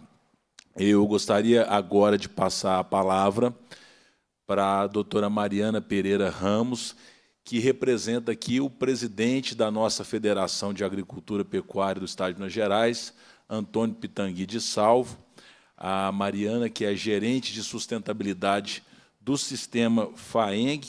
Antes de, de, de passar a palavra, Mariana, eu gostaria só de registrar algumas presenças ilustres aqui conosco né, nessa, nessa tarde. Queria aqui cumprimentar o nosso amigo, sempre presente aqui nas nossas audiências, dando sua contribuição, colaboração, Geraldo Magela, do Sistema OSENG. Obrigado, Geraldo. É, cumprimentar aqui, é, representando é, as usinas, representando a usina Coruripe, meu amigo Bertodino, obrigado. é, veio de longe para estar conosco aqui. É, da mesma forma, é, representando a usina Delta, a Cláudia, nós agradecemos muito pela, pela presença. É, representando a CRV de Capinópolis, o Arthur, muito obrigado, Arthur, pela presença. Representando aqui a Santo Ângelo, é, nosso amigo Decrier, também sempre presente, muito obrigado pela presença. E o William, representando a nossa usina Uberaba, muito obrigado. É, cumprimentando aqui também e agradecendo a presença. É, o Monza, que representa a Bambuí Bioenergia. E gostaria. Marisa. Marisa? Marisa. Ah, desculpa. Bambuí. Ah, meu Deus, aqui a letra está bem ruim aqui, viu? Perdão. Marisa, representando a Bambuí Bioenergia. É, quero aqui também cumprimentar é, a Gaia Consultoria Ambiental, né, que é, faz é, consultoria para boa parte da, das nossas usinas. É, quero cumprimentar o Guilherme, o Bruce, o Matheus, o João. Registro também a presença, esteve conosco aqui o vereador meu xará de Conquista, também, que é uma terra produtora de cana, o Raul Lemes. E agora passo a palavra para a nossa amiga representante da FAENG, doutora Mariana. Boa tarde a todos e todas. Primeiramente, agradecer, deputado Raul Belém, pelo convite à nossa federação. É uma honra estar representando o nosso líder maior, né, nosso presidente Antônio, mas também é uma honra estar aqui defendendo os nossos mais de um milhão de produtores rurais cadastrados no Cadastro Ambiental Rural, acima de dois módulos rurais, todos os produtores rurais, pequenos, médios e grandes, são representados por essa federação. Então, a gente tem uma obrigação muito grande de estar aqui hoje, haja visto os dados que a nossa co-irmã Emater nos trouxe aqui. Então, vamos falar um pouco não só dos prejuízos já expostos, e parabenizo Mário Campos pela sua belíssima exposição, mas falar que Minas está em chamas. Agradecer também de estar ao lado do nosso queridíssimo deputado Antônio Carlos Arantes, parceiros, parceiro de tantas lutas, né, deputado? Dizer que o nosso time está aqui na plateia, deputado Raul Belém. Então, nós temos aí superintendentes, presidentes de sindicato, presidentes de comissões, devido à importância dessa questão que assola Minas hoje. Minas, que é visto como a nossa caixa d'água, hoje está em chamas. Né? Os dados da Emater mostraram que, para além do triângulo, nós temos focos com perdas em todas as regiões do Estado. E nós, enquanto federação, estamos aqui para reiterar algum dos pleitos que o nosso presidente Mário, Mário Campos trouxe, enfatizar a necessidade de ampliação de ações emergenciais no momento que podemos dizer que estamos vivendo uma calamidade pública em toda Minas Gerais em função dos focos que nem sempre vão originar um incêndio, mas que estão gerando prejuízos para pequenos, médios e grandes produtores rurais. Hoje, dia 11 de setembro, é comemorado o Dia do Cerrado. Cerrado esse que grande parte está preservado dentro das propriedades rurais. Cerrado esse que, por meio da nossa tecnologia desenvolvida pela nossa excelentíssima Embrapa, trouxe a oportunidade de fazer com que o produtor rural dessas áreas pudessem produzir e prosperar e conservar boa parte desse cerrado dentro das suas propriedades rurais. Muito nos assustam nos números da agropecuária, porque nós sabemos das perdas que isso gera é, reações em cadeia. Não só para o produtor rural, que nesse momento clama socorro por medidas emergenciais, mas isso vai refletir em todos nós, na área urbana e na área rural, porque os efeitos são em cascata. Então, o prejuízo que gera dentro da propriedade rural nós vamos sentir nas gôndolas do supermercado em breve. Então, Mário já sinalizou né, o prejuízo que nós vamos ter aí, a tendência de prejuízo nesse setor muito expressivo e importante no qual ele representa, mas a gente estende isso para todos os setores, porque Minas são muitas, nossa produção é diversa, então a possibilidade de afetar diversas outras frentes produtivas em função dessas situações são enormes. Então, por isso, a gente vem aqui reiterar alguns pleitos, né, Mário? E dizer que os produtores rurais são grandes vítimas de tudo isso que tem acontecido. Ninguém bota fogo na sua própria casa. Então, não esperem que o produtor rural tenha feito isso. Nós estamos sofrendo consequências severas e gravíssimas de situações que outrem tem gerado dentro das propriedades rurais. Produtores rurais têm gastado recursos, energia, para fazer trabalho, muitas vezes, do poder público. Né? O Mário colocou aqui situações necessárias, onde a gente precisa manter, principalmente nas margens das rodovias, que os aceros sejam limpos, sejam mantidos.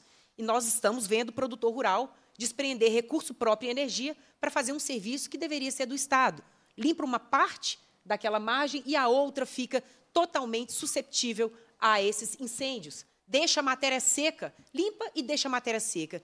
Então, o primeiro pleito senhor deputado, é que a gente pudesse ter um apoio né, do governo, no sentido dos órgãos públicos cumprirem realmente com aquilo, né, com o que é de devido, principalmente nas margens das rodovias, que a gente sabe que são grandes focos né, de incêndio que podem começar ali e adentrar para dentro das propriedades rurais.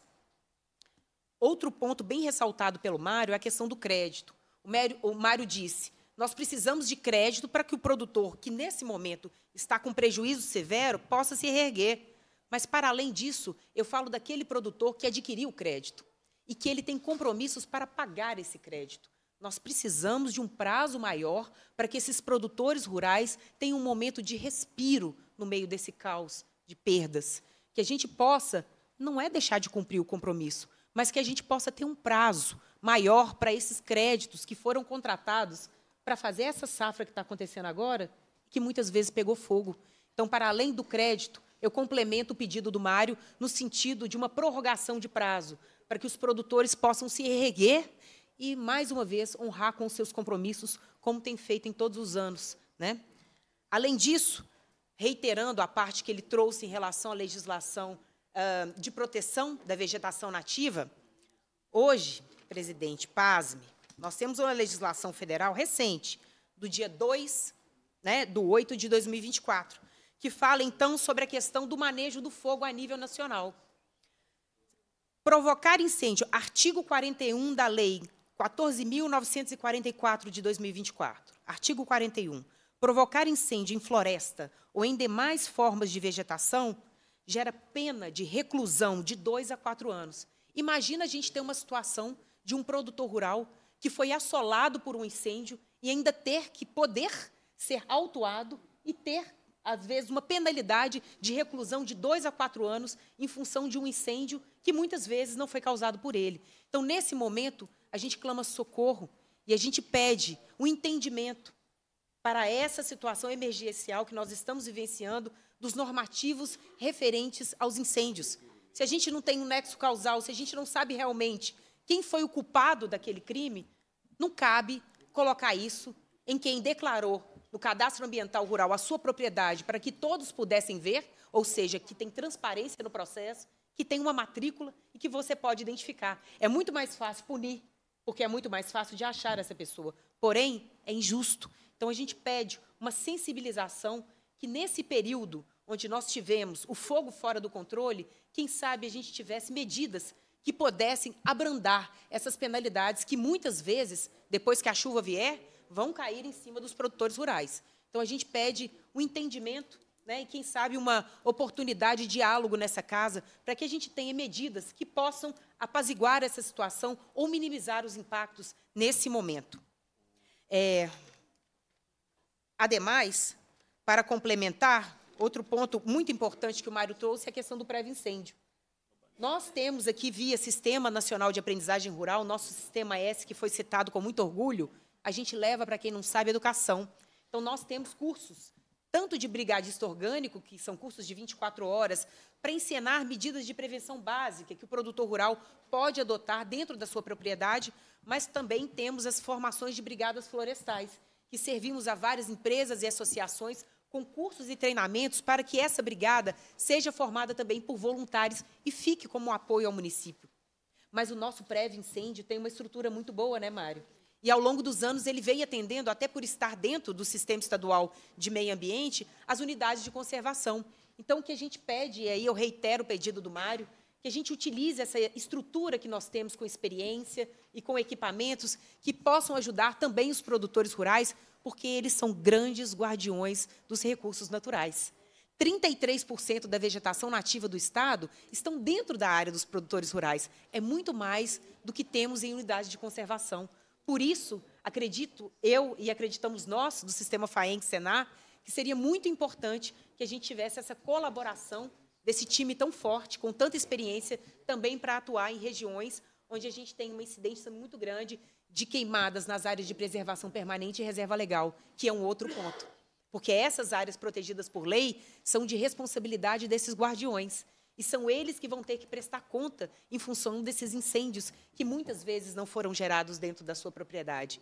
Então, nesse sentido, é, nós reiteramos aqui o nosso apoio aos produtores rurais, as nossas ações, os nossos sindicatos de produtores rurais, que não são a nossa porta de entrada nos municípios, para a acolhida desses produtores, para que a gente possa trazer cada vez mais orientações e estar junto aqui dessa Assembleia Legislativa, que é a Casa do Povo, que a gente entende que é daqui que nós vamos sair efetivamente com encaminhamentos para essa situação, para apoio, viu, deputado, em todas as ações necessárias que visem colocar realmente o produtor rural como protagonista dessa agenda e vítima de uma situação caótica que tem acontecido muitas vezes por criminosos. Obrigada pela oportunidade. Obrigado, Mariana.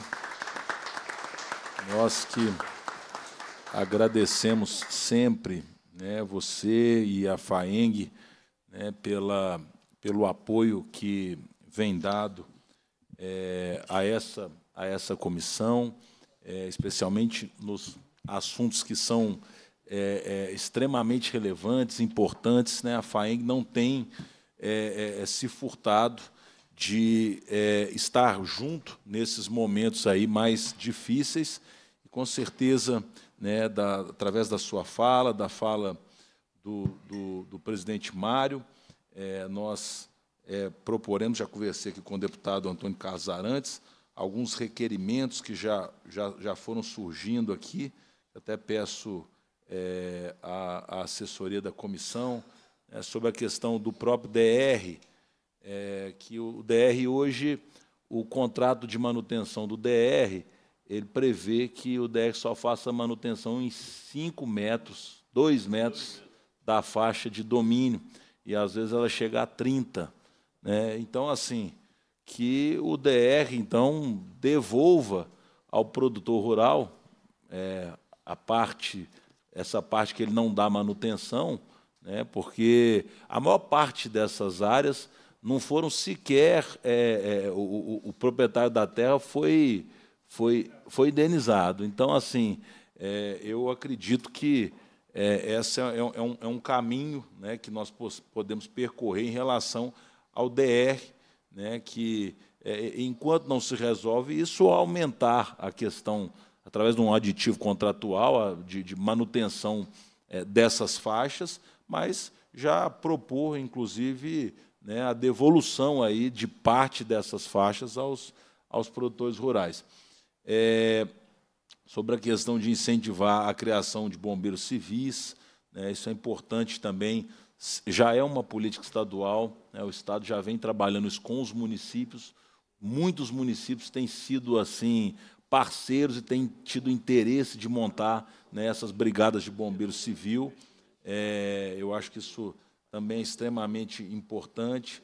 É, aqui eu já conversei com o doutor Albanês e fazemos um requerimento à SEAPA para que a SEAPA possa né, ser a grande intermediadora junto às instituições financeiras né, a respeito de prorrogação de prazo para pagamento, que já tem gente né, que já pegou esse dinheiro no, no, no plano safra né, e precisa prorrogar porque vai ter uma quebra significativa né, e também é, é, é, novos recursos para poder, como foi colocado aqui pelo Mário, para poder suportar né, essas áreas que foram prejudicadas, que vão ter que haver replantio.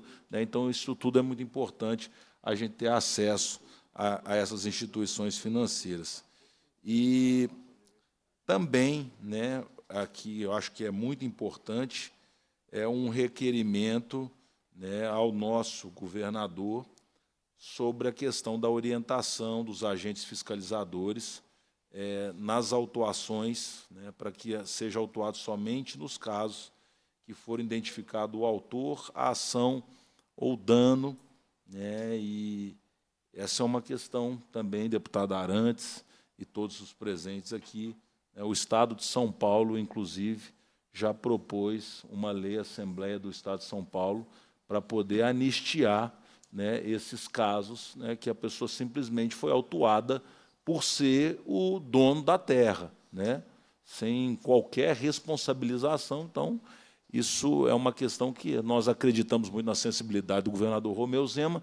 Vamos encaminhar um requerimento a ele, né, e, e estamos dispostos também a essa casa a, a colocar, né, a tramitar aqui uma, uma legislação para poder é, é, isentar o nosso produtor rural dessas responsabilidades que não é dele. É, eu gostaria de passar a palavra agora, representando aqui a nossa Cana Campo, é, o doutor Renato Aparecido Roque, que é o representante jurídico né, da nossa Associação de Fornecedores da Cana Campo. Doutor Renato, fica à vontade. Boa tarde a todos, boa tarde, presidente, em nome do qual eu cumprimento todas as autoridades aqui presentes.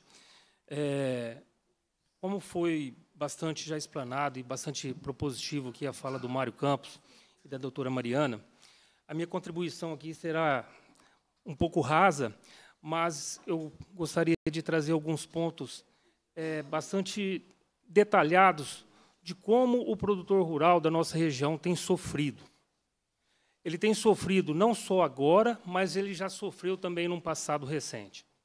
Nós tivemos é, situações de calamidade pública no ano de 2021, e essa calamidade pública pelo fogo, pelos incêndios no campo, neste momento se aplica. Da mesma forma, eu ouso dizer que estamos assemelhados à calamidade pública que aconteceu no Rio Grande do Sul. Lá foi com a água, aqui é com a seca e com o fogo. E eu trago, como já foi dito aqui, informação de produtores rurais que foram autuados por manterem, em momentos críticos como esse, bombas estacionárias em açudes, sem licença para buscar a, a água, para ter a outorga da água foi multado em 60 mil reais. O auto foi devidamente é, contestado, porém sem sucesso, porque é o próprio órgão ambiental que o julga e o juiz valida esse auto. Ele foi penalizado em 60 mil reais porque manteve ali um motor estacionário no açude para encher os caminhões que iriam combater incêndios, se necessário, em sua propriedade rural. E falo mais, eu tenho outro produtor rural que me noticiou que foi autuado em 120 mil reais por ter debelado o fogo em sua propriedade que veio originário da margem de uma rodovia, ali em Pirajuba. Tem cópia desses autos, caso vocês queiram verificar.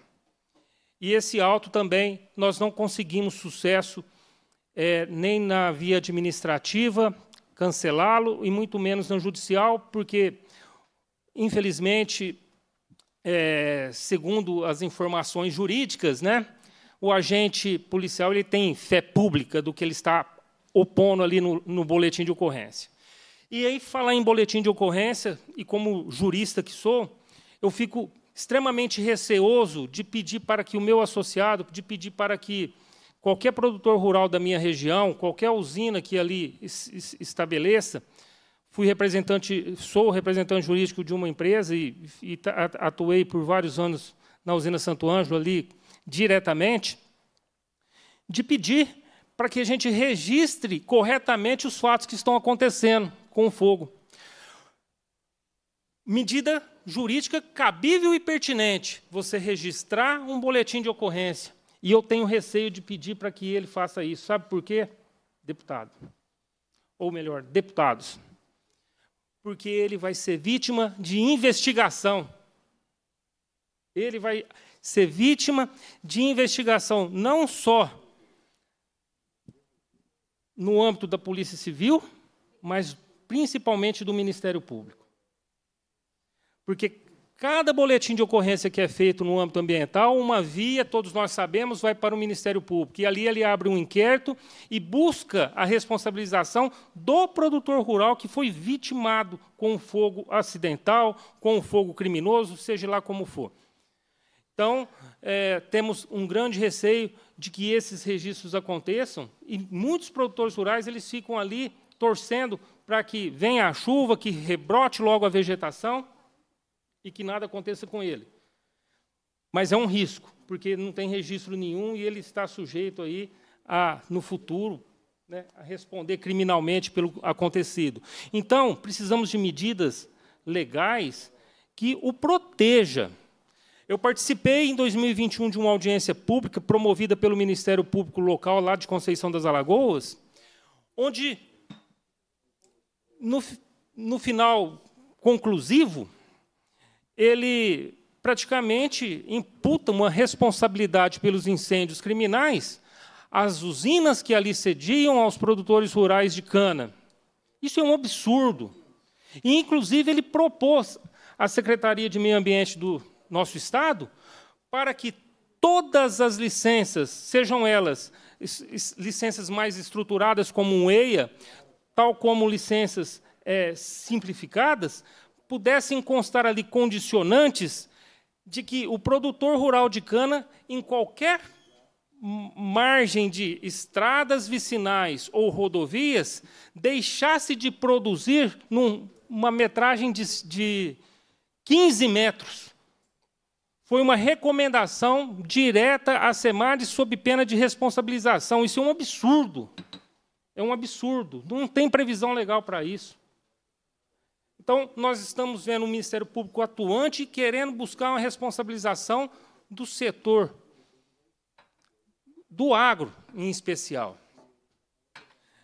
É, precisamos de normas que discrimin de descriminalização dessas ações, principalmente nesse período crítico. Isso já foi dito pelo Mar, já foi dito pela, pela doutora Mariana, e eu gostaria de frisar, porque eles estão sofrendo na pele essa situação. É, só um pequeno detalhe, já falamos muito aqui da responsabilidade dos aceros da DENIT, do DR e próprio da CEMIG, das suas manutenções de linha, mas nós temos que avançar. Avançando em qual sentido? Eu até hoje não vi, e creio que não exista, nenhuma estrutura desses órgãos no combate a incêndio. E eles precisam ter, sim, as suas estruturas no combate a incêndio. Tanto a CEMIG precisa ter, quanto o DENIT e o DR precisam ter. Não é só o produtor rural. Ele, não, ele já faz boa parte do dever de casa dele com os seus aceros, com os seus equipamentos, com a contratação de aeronaves, mas essas entidades parece que tudo pode e tudo é plausível. Então precisamos também nos atentar e exigir que eles, de pontos em pontos, de quilômetros em quilômetros, mantenham estrutura em é, suficiente para debelar situações de incêndio que possam ocasionar é, situações piores. E com relação aos municípios, é, eu vou registrar aqui uma situação que ocorreu ontem em, em Conceição das Alagoas, é, que me deixou assim bastante chateado e eu fiquei quase que a noite toda muito tenso. Tivemos um incêndio ontem, quem é lá da região vai saber, onde muitas sitiantes que ali residem nas suas propriedades rurais quase perderam suas vidas por conta desses incêndios. E não tivemos ali ação nenhuma de um corpo de bombeiro, não tivemos ação nenhuma de um município que pudesse ir lá e dar um amparo e dar uma ajuda. Se não fosse, por exemplo, a usina Delta com a sua equipe, outras empresas que pudessem ali debelar aquele fogo, teríamos uma situação de vítimas fatais. E isso é muito triste. E se não tomarmos medidas propositivas sérias, creio eu que em breve estaremos aqui falando e registrando incêndios nesses pequenos municípios do Triângulo Mineiro, incêndios dentro das cidades, afetando bairros, talvez, quiçá até a cidade toda. Se pegar um fogo, por exemplo, numa cidade igual Pirajuba, debela a cidade toda. Né? E, por último, por fim, eu vou citar aqui algo talvez que vai espantar a todos.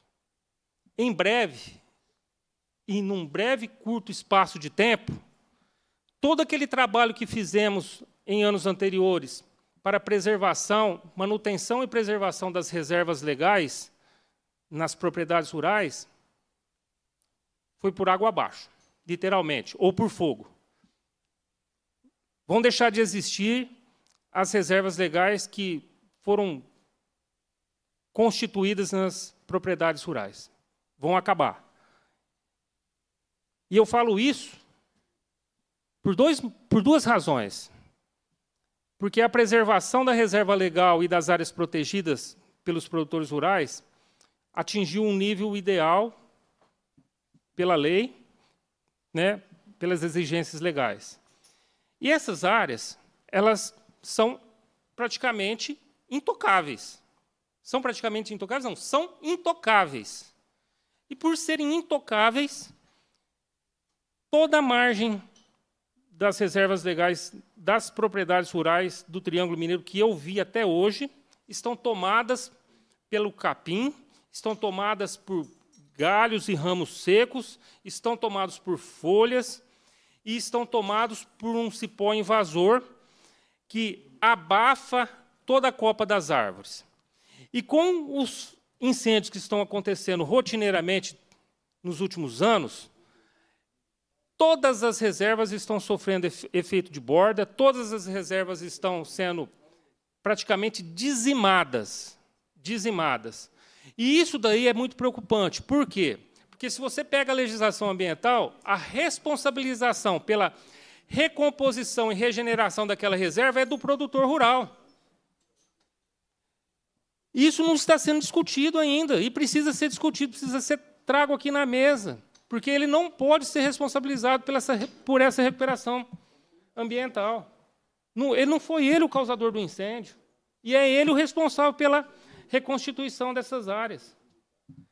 Nós, através cana, da Cana Campo, protocolamos um ato de pesquisa junto à Secretaria do Meio Ambiente, com a cooperação do, do CIAMIG, para que a gente pudesse usar a reserva legal de uma maneira inteligente, com a manutenção de poucas cabeças de gado, mas para que esse gado pudesse comer esse capim de borda, quebrar o cipó que abafa as copas das árvores, de modo que talvez, e é por isso é uma pesquisa, é um teste, isso talvez pudesse minimizar o impacto de um incêndio florestal.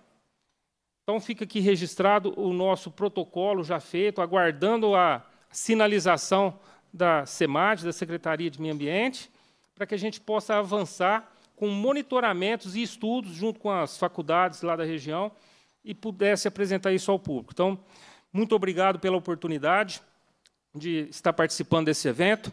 E também aqui uma pequena notícia, a gente tem que tomar muito cuidado com esses vídeos que a gente está, assim, às vezes vê aí nas redes sociais, porque é o seguinte: ah, eu vi uma pessoa colocando fogo.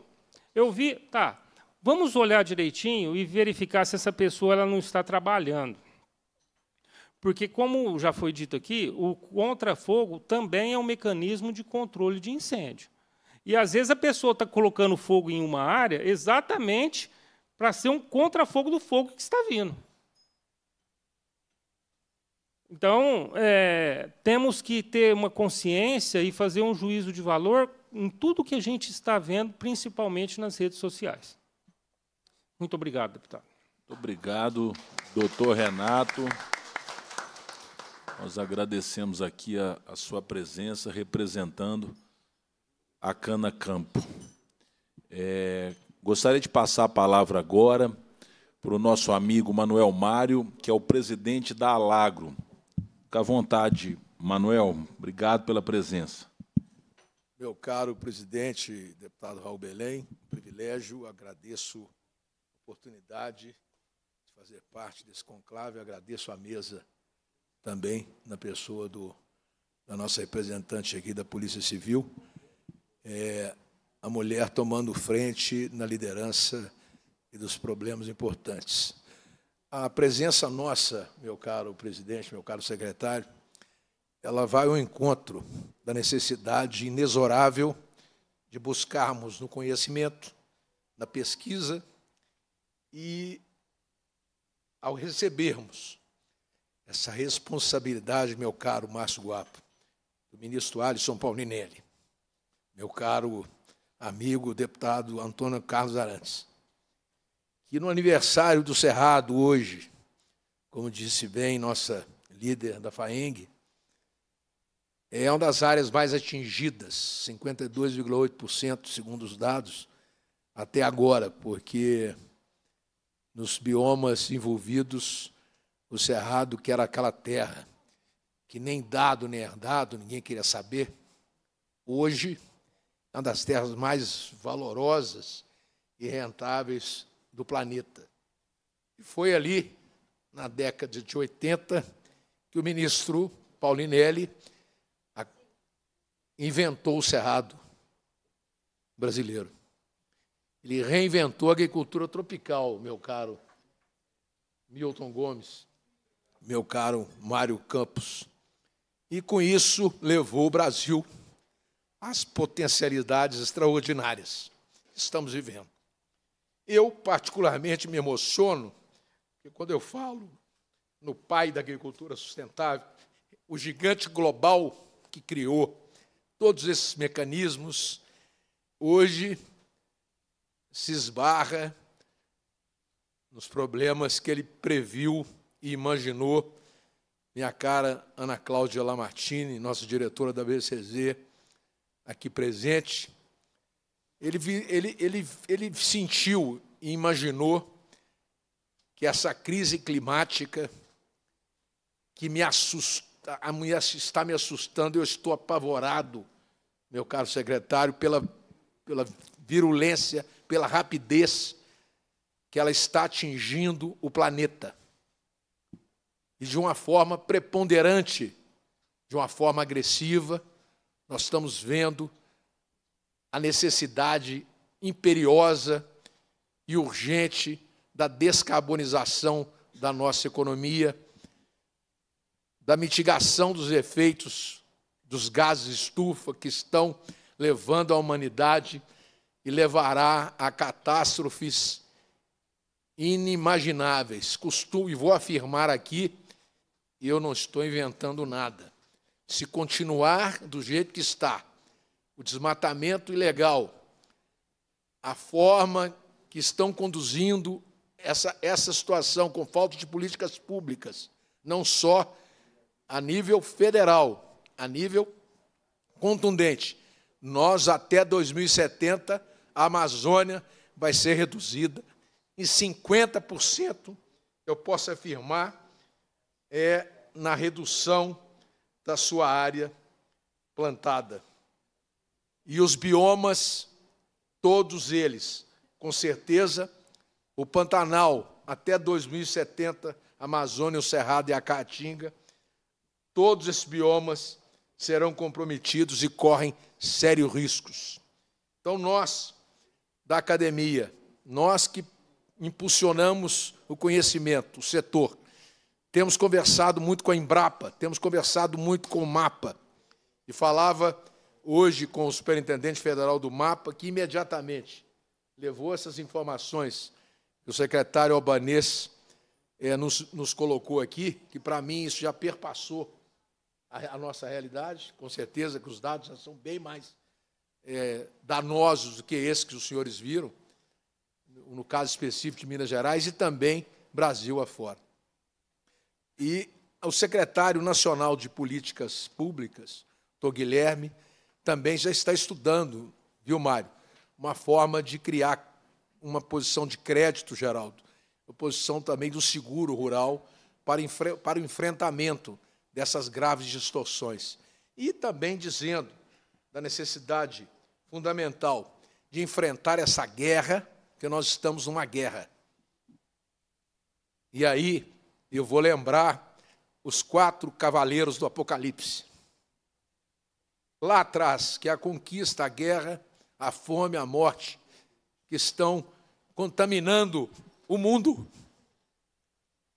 E quando eu falo nisso, nós sabemos da potencialidade do Brasil de sermos a maior potência energética, a maior potência alimentar, a maior potência climática, mas também com as graves desigualdades sociais. Não é possível um Brasil, meu caro, meu caro Roberto Simão, meu, meu caro Simões, Francisco, com 215 milhões na população brasileira, mais da metade está vivendo em segurança alimentar hoje. É gravíssimo um país que produz, Márcio Guapo, 320 milhões de toneladas de grãos. É uma, um dos grandes produtores de proteínas animais do planeta. Um dos grandes produtores de energias limpas, Mário um dos grandes produtores de frutas. O Brasil é o terceiro maior produtor de frutas. Nós estamos dizendo de um bilhão de toneladas que o Brasil disponibiliza para o planeta. E nós temos uma desigualdade dessa insofismável e gigantesca. Então, as minhas considerações são para que nós continuemos ao exemplo de Minas Gerais, secretário, que no primeiro mandato do governador Zema lançou o programa Race to Zero, programa importante de mitigação dos efeitos de gás estufa. Nós temos que fazer isso, porque as consequências estão aí. O que aconteceu no Rio Grande do Sul, na, na, na, na enchente, está vindo nessa forte estiagem. E vai vir no esfriamento, no esquentamento do planeta. E esse fator climático, essa guerra gravíssima, que tá, foi, está previsto, é, foi previsto por, por Paulo, lá no livro da Revelação, como eu disse anteriormente, nós precisamos de combater isso com a ciência, com a pesquisa, e o Brasil hoje, levando em consideração as suas tecnologias, é também importante os produtores usarem as tecnologias disponíveis, os drones, as capacitações, porque nós sabemos que existe um incêndio criminoso, sim, ele existe. Existe, houve uma diminuição latente no desmatamento também, mas, por outro lado, está havendo um contingenciamento mesmo, e é, e é papel da polícia agora também criar mecanismos melhores, melhorar sua eficácia também na, em atacar o crime organizado que está imperando no Brasil. Eu também não estou aqui inventando nada. Nós, hoje, do setor do agronegócio, Somos responsáveis pelos resultados extraordinários que o Brasil tem dado para o planeta.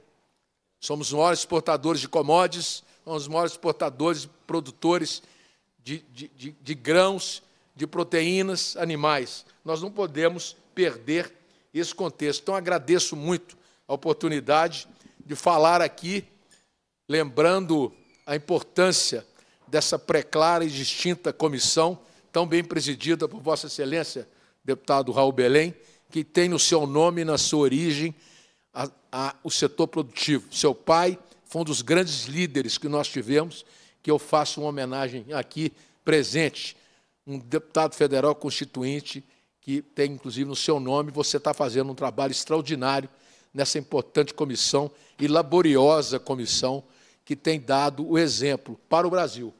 Então, cumprimento aqui a Emater, a FAENG, a, a OSENG, a, a CIASMIG, todas as entidades de classe e, principalmente, representando também aqui a rede Alisson Paulinelli de sustentabilidade e paz, nesses desafios de manter o seu legado, meu caro Geraldo, é, para a gente ajudar no sentido de formatar políticas públicas, formatar é, cada vez mais o que ele sempre pregava, pregava a ciência e a tecnologia como métodos maiores para a gente avançar nesses graves desafios que nós estamos vivendo. Esse problema vai se agravar de uma maneira contundente nos próximos dias. Esse problema desses incêndios, desse, inclusive nós estamos vendo aqui dentro de Belo Horizonte, já sentindo a gravidade de todos esses distúrbios. Então, eu gostaria de agradecer muito e colocar a nossa Academia Latino-Americana do Agronegócio. Eu herdei uma academia fundada pelo ministro Paulinelli, com sede hoje em Montevidéu, com um escritório em São Paulo, na Sociedade Rural Brasileira, à disposição dessa comissão e de todos vocês, produtores rurais. Porque sem vocês, vocês são os principais players de todos esses resultados. Então, cumprimento aqui, através do Márcio Guapo, que é um produtor rural também, a todos vocês aqui presentes nesse importante. Sem vocês, nós não teríamos esses resultados importantes que nós temos na economia brasileira. Muito obrigado a todos. Muito obrigado. Nosso amigo Manuel Mário, sua presença nessa comissão, é, representando aqui a Alagro, é sempre de grande colaboração, contribuição, e nós ficamos muito felizes que podemos sempre contar né, com todo esse potencial e essa capacidade que foi desenvolvida ao longo de muitos anos né, sob a batuta do nosso saudoso, inesquecível, nosso Pelé do agronegócio, ministro Alisson Paulinelli. É, nós estamos ao vivo na TV Assembleia. Quero agradecer a audiência de, de todos que nos assistem. Algumas perguntas estão sendo enviadas. É, a comissão irá responder todas as perguntas àqueles que estão nos assistindo. Né? Ao final, nós vamos estar respondendo por e-mail, aqueles que poderem deixar o contato, nós vamos estar respondendo, porque esse é o nosso dever como Casa do Povo de Minas Gerais. É, eu passo a palavra agora e já agradeço né, de primeira mão doutora Bianca pela presença, que é chefe do Departamento Estadual de Investigação de Crimes contra o Meio Ambiente da Polícia Civil de Minas Gerais. E agradeço também e levo o nosso abraço, reconhecimento à doutora Letícia, que é a nossa chefe de polícia do Estado de Minas Gerais. Doutora Bianca, fique à vontade, muito obrigado pela sua presença.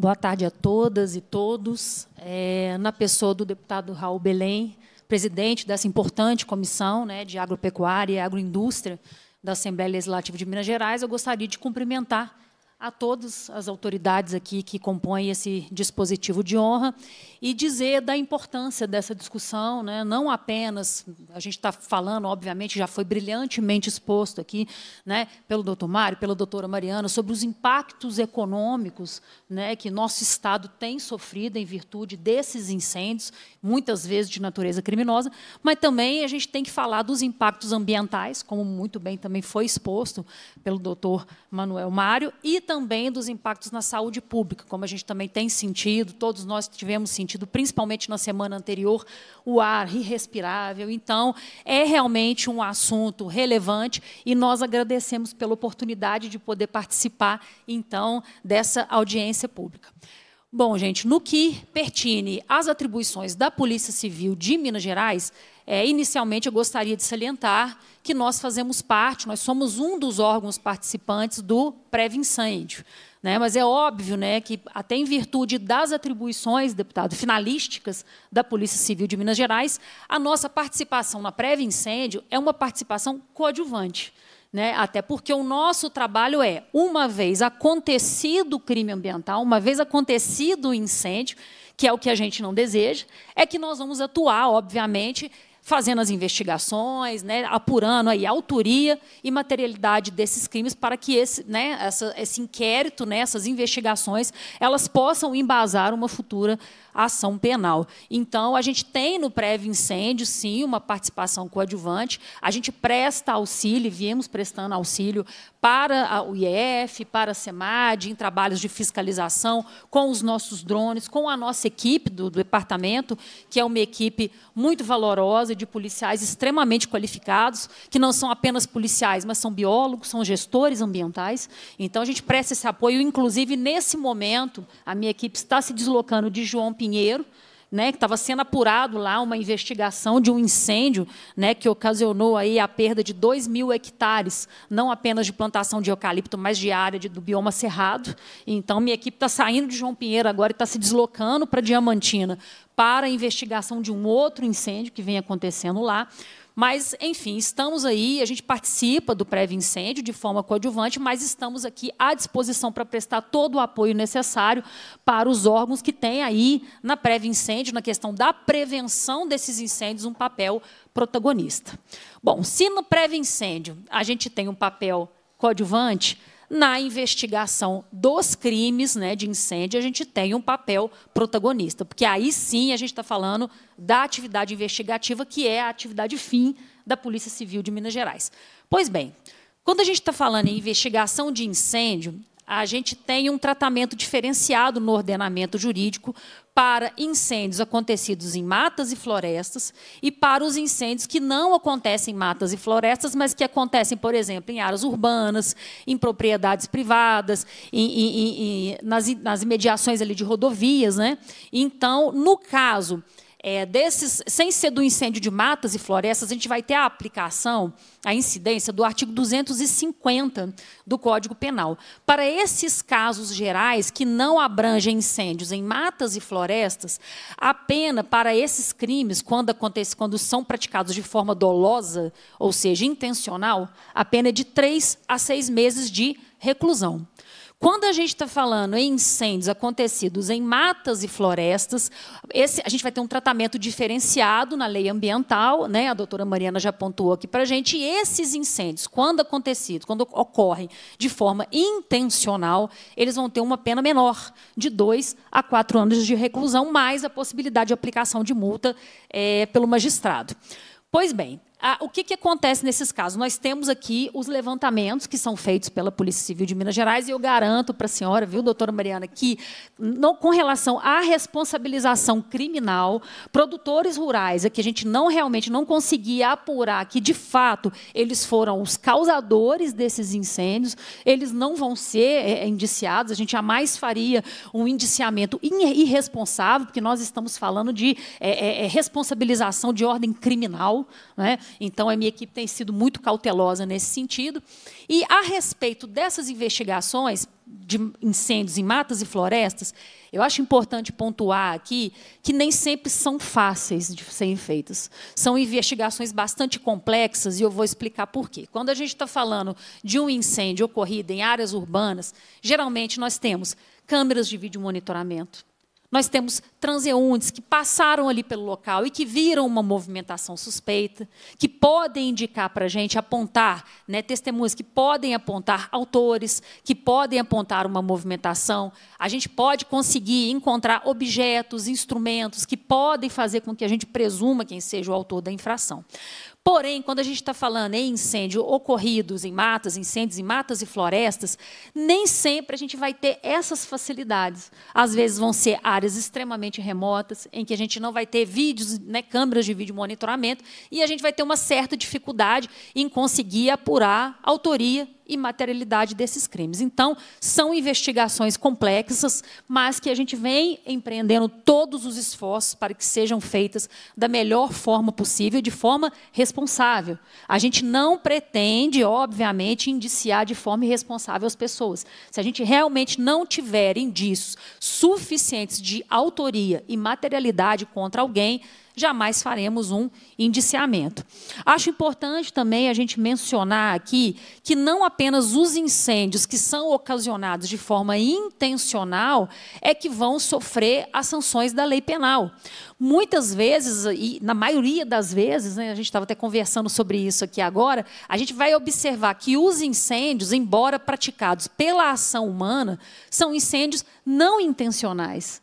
Esses incêndios culposos também merecem né, e têm a proteção penal. Obviamente, nesses casos, a pena máxima, né, quando o um incêndio é culposo, ou seja, não intencional, mas é ocasionado por uma ação humana imprudente, imperita, ou por uma negligência da pessoa, a pena máxima ela não ultrapassa dois anos de detenção. Então, nesse caso, a gente não vai poder prender essa pessoa. A gente não pode prender porque, pela legislação, são considerados considerados os crimes de incêndio culposos crimes de menor potencial ofensivo e a gente tem que lavrar um termo circunstanciado de ocorrência e encaminhar para os juizados especiais né, criminais. Tá? Mas é isso, eu gostaria de pontuar que a polícia ela vem empreendendo todos os esforços, e aqui, deputado, eu gostaria de pedir licença para a gente apresentar alguns dados que nós temos, alguns levantamentos que nós fizemos a respeito das investigações que vêm sendo empreendidas pela Polícia Civil de Minas Gerais.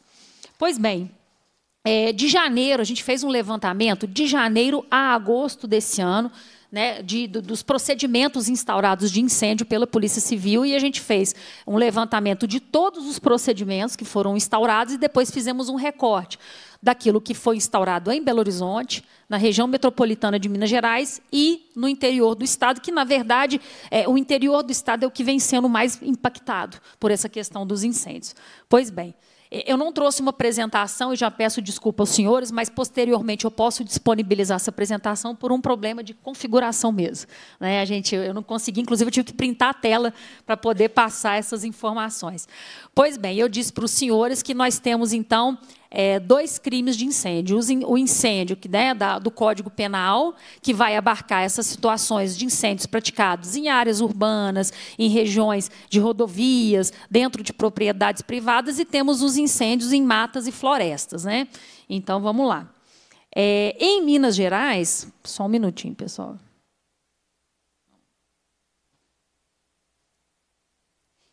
Em Minas Gerais, de janeiro a agosto desse ano, é, para os crimes de incêndio do Código Penal, nós tivemos de janeiro a agosto desse ano 721 procedimentos instaurados pela Polícia Civil de Minas Gerais para apuração desses fatos. É, no caso da lei ambiental, ou seja, incêndios praticados em matas e florestas, de janeiro a agosto de 2024, nós tivemos, já temos 245 procedimentos instaurados, né? totalizando, então, um total de 966 procedimentos investigatórios. É, pois bem, é, em Belo Horizonte, desses, desses, desse total que eu passei para os senhores, a gente tem 58 procedimentos instaurados para incêndios do Código Penal e 21 incêndios ocasionados praticados em matas ou florestas, totalizando, então, 79 é, procedimentos.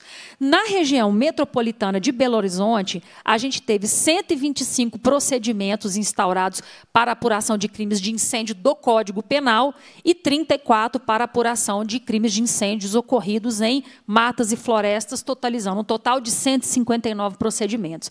E na região e no interior do estado, né, que é na verdade o maior impacto, como foi bem é, é pontuado aqui pelas pessoas que se encontram aqui no dispositivo, a gente teve instaurado, nós temos instaurados 598 procedimentos é, referentes a incêndios daquele, daquela tipificação do Código Penal e 211 procedimentos de incêndios ocorridos em matas e florestas. Temos também pessoas que já foram presas em virtude da prática desses crimes, ou seja, procedimentos que já foram concluídos e as pessoas já foram presas. Então, nós temos aqui alguns números também para passar para os senhores. Né? Aqui dos a gente antes disso, Vou passar para os senhores aqui desses procedimentos, quais deles foram concluídos, né, cujas investigações já foram concluídas. Então, em Minas Gerais, daquele montante de procedimentos, a gente já teve a conclusão de 644 procedimentos dos crimes de incêndios do Código Penal e 127 dos procedimentos de incêndios praticados aí em matas e florestas. Temos também o número de pessoas presas, vou a eles agora, só um instante. É, em Belo Horizonte, só um minuto, gente. Esse negócio de print de tela é terrível. Mas vamos lá.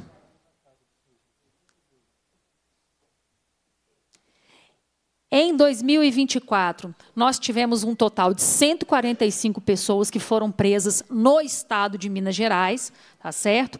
Na região dessas pessoas, na região de Belo Horizonte, 13 foram presas. Na região metropolitana de Belo Horizonte, foram 31 pessoas presas.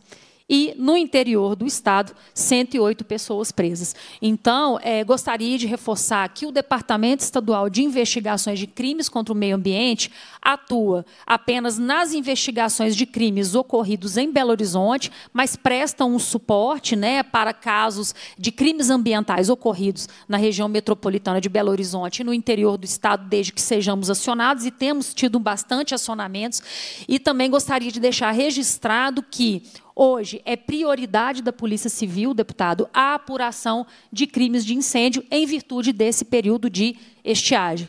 Então, sobre a Polícia Civil, é isso que eu gostaria de deixar registrado. Mais uma vez, agradecer a oportunidade de estar aqui e me colocar, colocar o nosso Departamento de Investigação de Crimes Ambientais à disposição de todas e todos. Muito obrigada. Muito obrigado. Doutora Bianca, é, antes de passar a palavra para o deputado Antônio Carlos Arantes, eu, eu, gostaria só de fazer uma pergunta, doutora Bianca. É, nós acompanhamos é, pela, pela imprensa nacional a questão é, dos incêndios na região de Ribeirão Preto. Eu gostaria de saber da senhora se existe alguma conexão é, daqueles incêndios com a região do Triângulo Mineiro pela proximidade, se, se vocês é, estão é, é, é, em, alguma linha nesse sentido, se existe alguma coisa nesse sentido. Deputado, essas investigações, essa investigação, todas essas investigações dos incêndios ocorridos na região do Triângulo Mineiro, elas vêm sendo presididas pelos delegados que lá trabalham, sabe? E se tem alguma ligação, pode ser que tenha, com os incêndios ocorridos na região de Ribeirão Preto, eu não saberia dizer para o senhor. A gente teria que conversar diretamente com os delegados, né, com o chefe de departamento de Uberlândia, mas essa é uma informação que a gente pode conseguir. Muito obrigado, doutora Bianca, mais uma vez. É, passo a palavra agora ao deputado Antônio Carlos Arantes. Gostaria só de registrar aqui a presença, deputado, da Ana Cláudia Lamartine, está conosco aqui presente, que é vice-presidente da ABCZ. Muito obrigado pela presença, Ana. Deputado.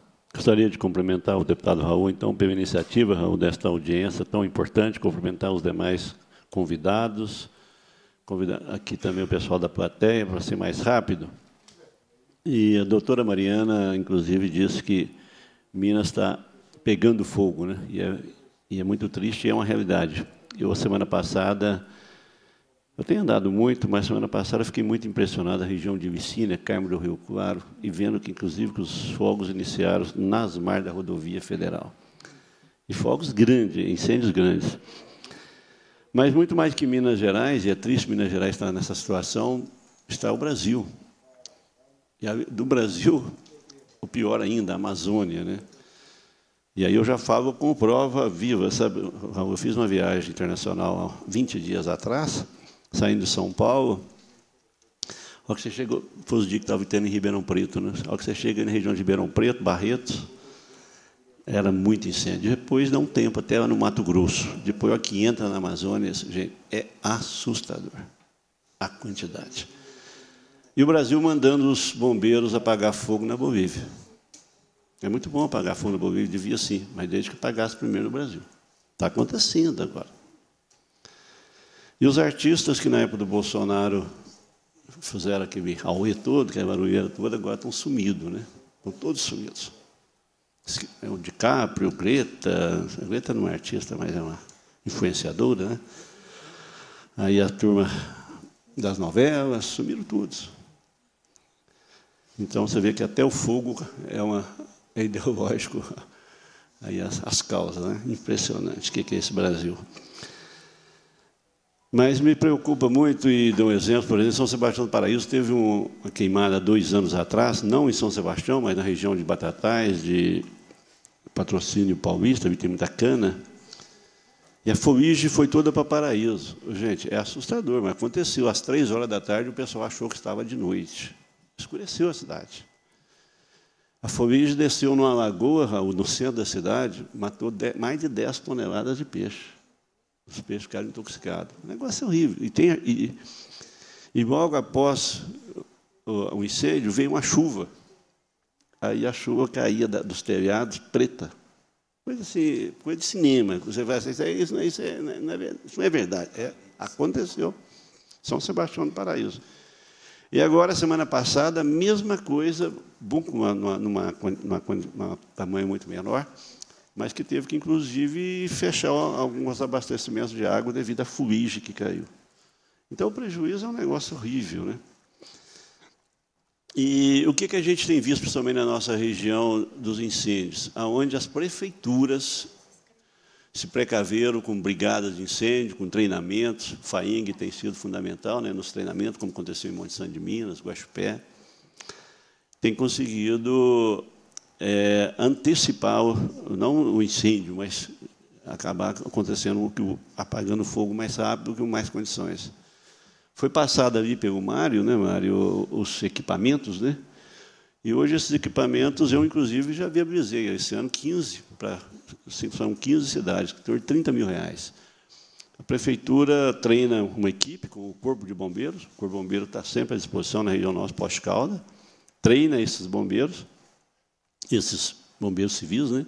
essa brigada de incêndio, os brigadistas, esse equipamento vai para a prefeitura, ele movimenta numa caminhonete ou num tratorzinho. É mais fácil até de chegar muitas vezes no incêndio, que um caminhão-pipa nem sempre chega, no, no, principalmente no sul de Minas, que é um pouco mais, mais declividade. E, e facilita muito. Então, são, é um equipamento, havia o tanque com, com o esguicho, né, que vai joga longe, e ainda é, os abafadores e, e também os sopradores, 30 mil reais é muito pouco investimento para uma prefeitura e olha que dá muito resultado. Então, nós precisamos trabalhar muito, e aí a Imater é fundamental, trabalhar muito os municípios, os sindicatos rurais, através da FAENG, né, Guapo? É, trabalhar muito os municípios nesse sentido, nas parcerias com o sindicato, com a Imater, cooperativas, né, Major? A cooperativa tem sido muito parceira também, para que possamos colocar esses kits em todas as cidades. Foi falado aqui das multas ambientais. Eu sou prova também que aconteceu isso na nossa região, não faz muito tempo. Não, a questão criminal, a doutora é, até deixou a gente mais tranquilo, né, a doutora Bianca. Mas realmente é, é assustador e preocupante, porque quando você, quando você tem um incêndio na sua fazenda, gente, o prejuízo é, é muito grande e ainda você ser multado é complicado. Então, Raul, nós dois já, então já pegamos a cópia do projeto de São Paulo e já vamos protocolar amanhã, ou hoje mesmo, nós já vamos protocolar o mesmo projeto. Tá? Pode, já vai começar a tramitar aqui nesta casa o mesmo projeto de São Paulo, nós vamos adaptá-lo para, Minas Gerais também. E trabalhar aí no, em cima de requerimentos e projetos também, o, Mário, que foi aí as sugestões, as nove sugestões. Eu e Raul e outros deputados que tiverem interesse, vamos trabalhar também em ações que transformem em projetos também. E ações diretas de apoio ao governo do Estado para que viabilize é, um foco maior, um foco para combater os focos, né? para combater os focos de incêndio no Estado, que é possível quando se organiza município e as entidades municipais. Inclusive, doutora Mariana aqui sugerindo, inclusive no Código Florestal, que surgiu, que o Código Florestal brasileiro iniciou aqui. E, inclusive, iniciou aqui nesta sala, junto numa audiência pública, onde eu apresentei uma proposta com a FAENG, depois o outro foi lá no plenário, mais de 600 pessoas. Fizemos o nosso Código Florestal Mineiro, depois fizemos o brasileiro. E onde dos aceros fazem 6 metros, poderíamos ampliar isso para 10 metros, 12 metros, que os aceros são fundamentais. E outras opiniões, que aqui a gente fala que quem ouve mais acerta mais. Estamos aqui para ouvir as entidades e materializá-las em projetos que venham chegar à ponta, né? chegar aonde estão as pessoas, onde estão os nossos produtores. Eu mesmo sou produtor, e nessa época eu fico, porque a minha propriedade é beira de rodovia também, então a gente fica nessa época muito preocupado. Então, e só para encerrar, e a gente fica, quando fala de fogo, muitas vezes as pessoas é, aí da questão da, da como que eu posso falar, mas da responsabilização né, do produtor. Gente, o produtor não coloca. No passado era normal você colocar fogo para pastagem. Agora, em agosto, setembro, colocava pouco para chover, saiu pastagem. Né? Isso acabou, isso não existe mais. A evolução tecnológica, a evolução da, da ciência, da educação do produtor mostrou o contrário. Hoje, você tem que ter massa. Quanto mais massa, hoje com a mineralização do gado, você coloca sal mineral à vontade. Quanto mais massa seca tiver, mais o gado conserva. Acabou esse negócio de colocar fogo é, na sua própria propriedade. Antigamente roçava as florestas e punha fogo, esquece, isso não existe mais. Ou seja, quando vem um fogo, não é do produtor, pode ter certeza, não seja um acidente. Agora, dia, dia 12 de outubro, é um dia que preocupa, dia Nossa Senhora Aparecida. Quantas vezes que eu já tive em festa Nossa Senhora Aparecida, de repente começa a pegar fogo, o pessoal solta foguete. Então, aí sim, é não foi intencional, mas acontece. Mas, fora disso, fora disso, intencionalmente, o produtor não faz isso, não é normal, não faz. O que faz realmente são é, pessoas que colocam de forma intencional. Eu tenho assim, um sentimento muito triste quando se fala de fogo, sabe, gente? Eu não sei se alguém aqui de vocês conhece, conheceu, ou conhece ainda a Mata do Alvim. A Mata do Alvim é Passos. A Mata do Alvim é logo que passa o pedágio. O pedágio era no início da Mata do Alvim. Isso há 30 anos atrás, eu era prefeito da minha cidade, a gente vinha para Belo Horizonte, a Mata do Alvim era um, você, era um túnel. Era um túnel, muito jequitibá, muita jabuticabeira do mato. Tem lá até hoje, lá tudo sequinho.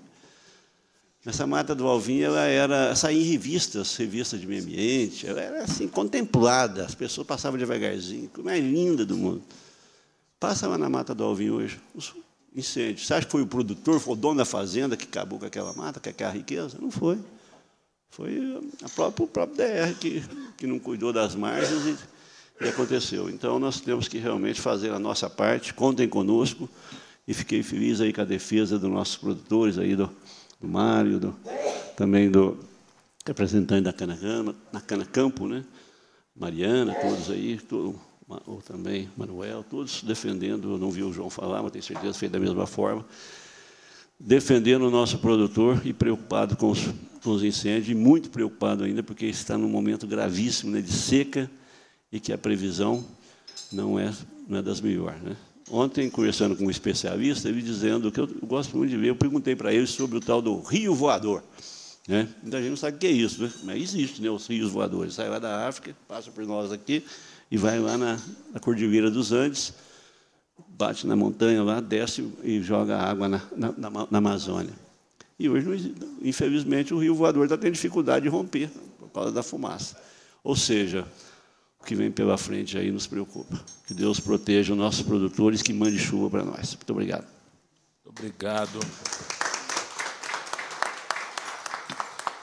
Deputado Antônio Carlos Arantes, grande companheiro e defensor do agronegócio nessa casa.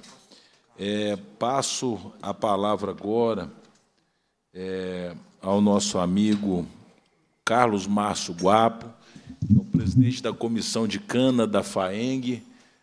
Ô, Márcio, peço que você se direcione a esse microfone aqui, por gentileza. Guapo que veio de Campo Florido para essa audiência.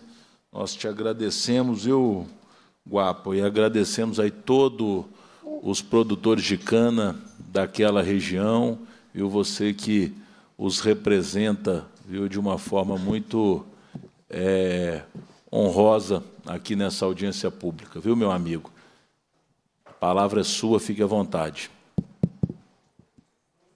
Bom, tá tudo bem, tá tudo bem. Bom, boa tarde a todos. Tá bom. Tá bom. Boa tarde a todos.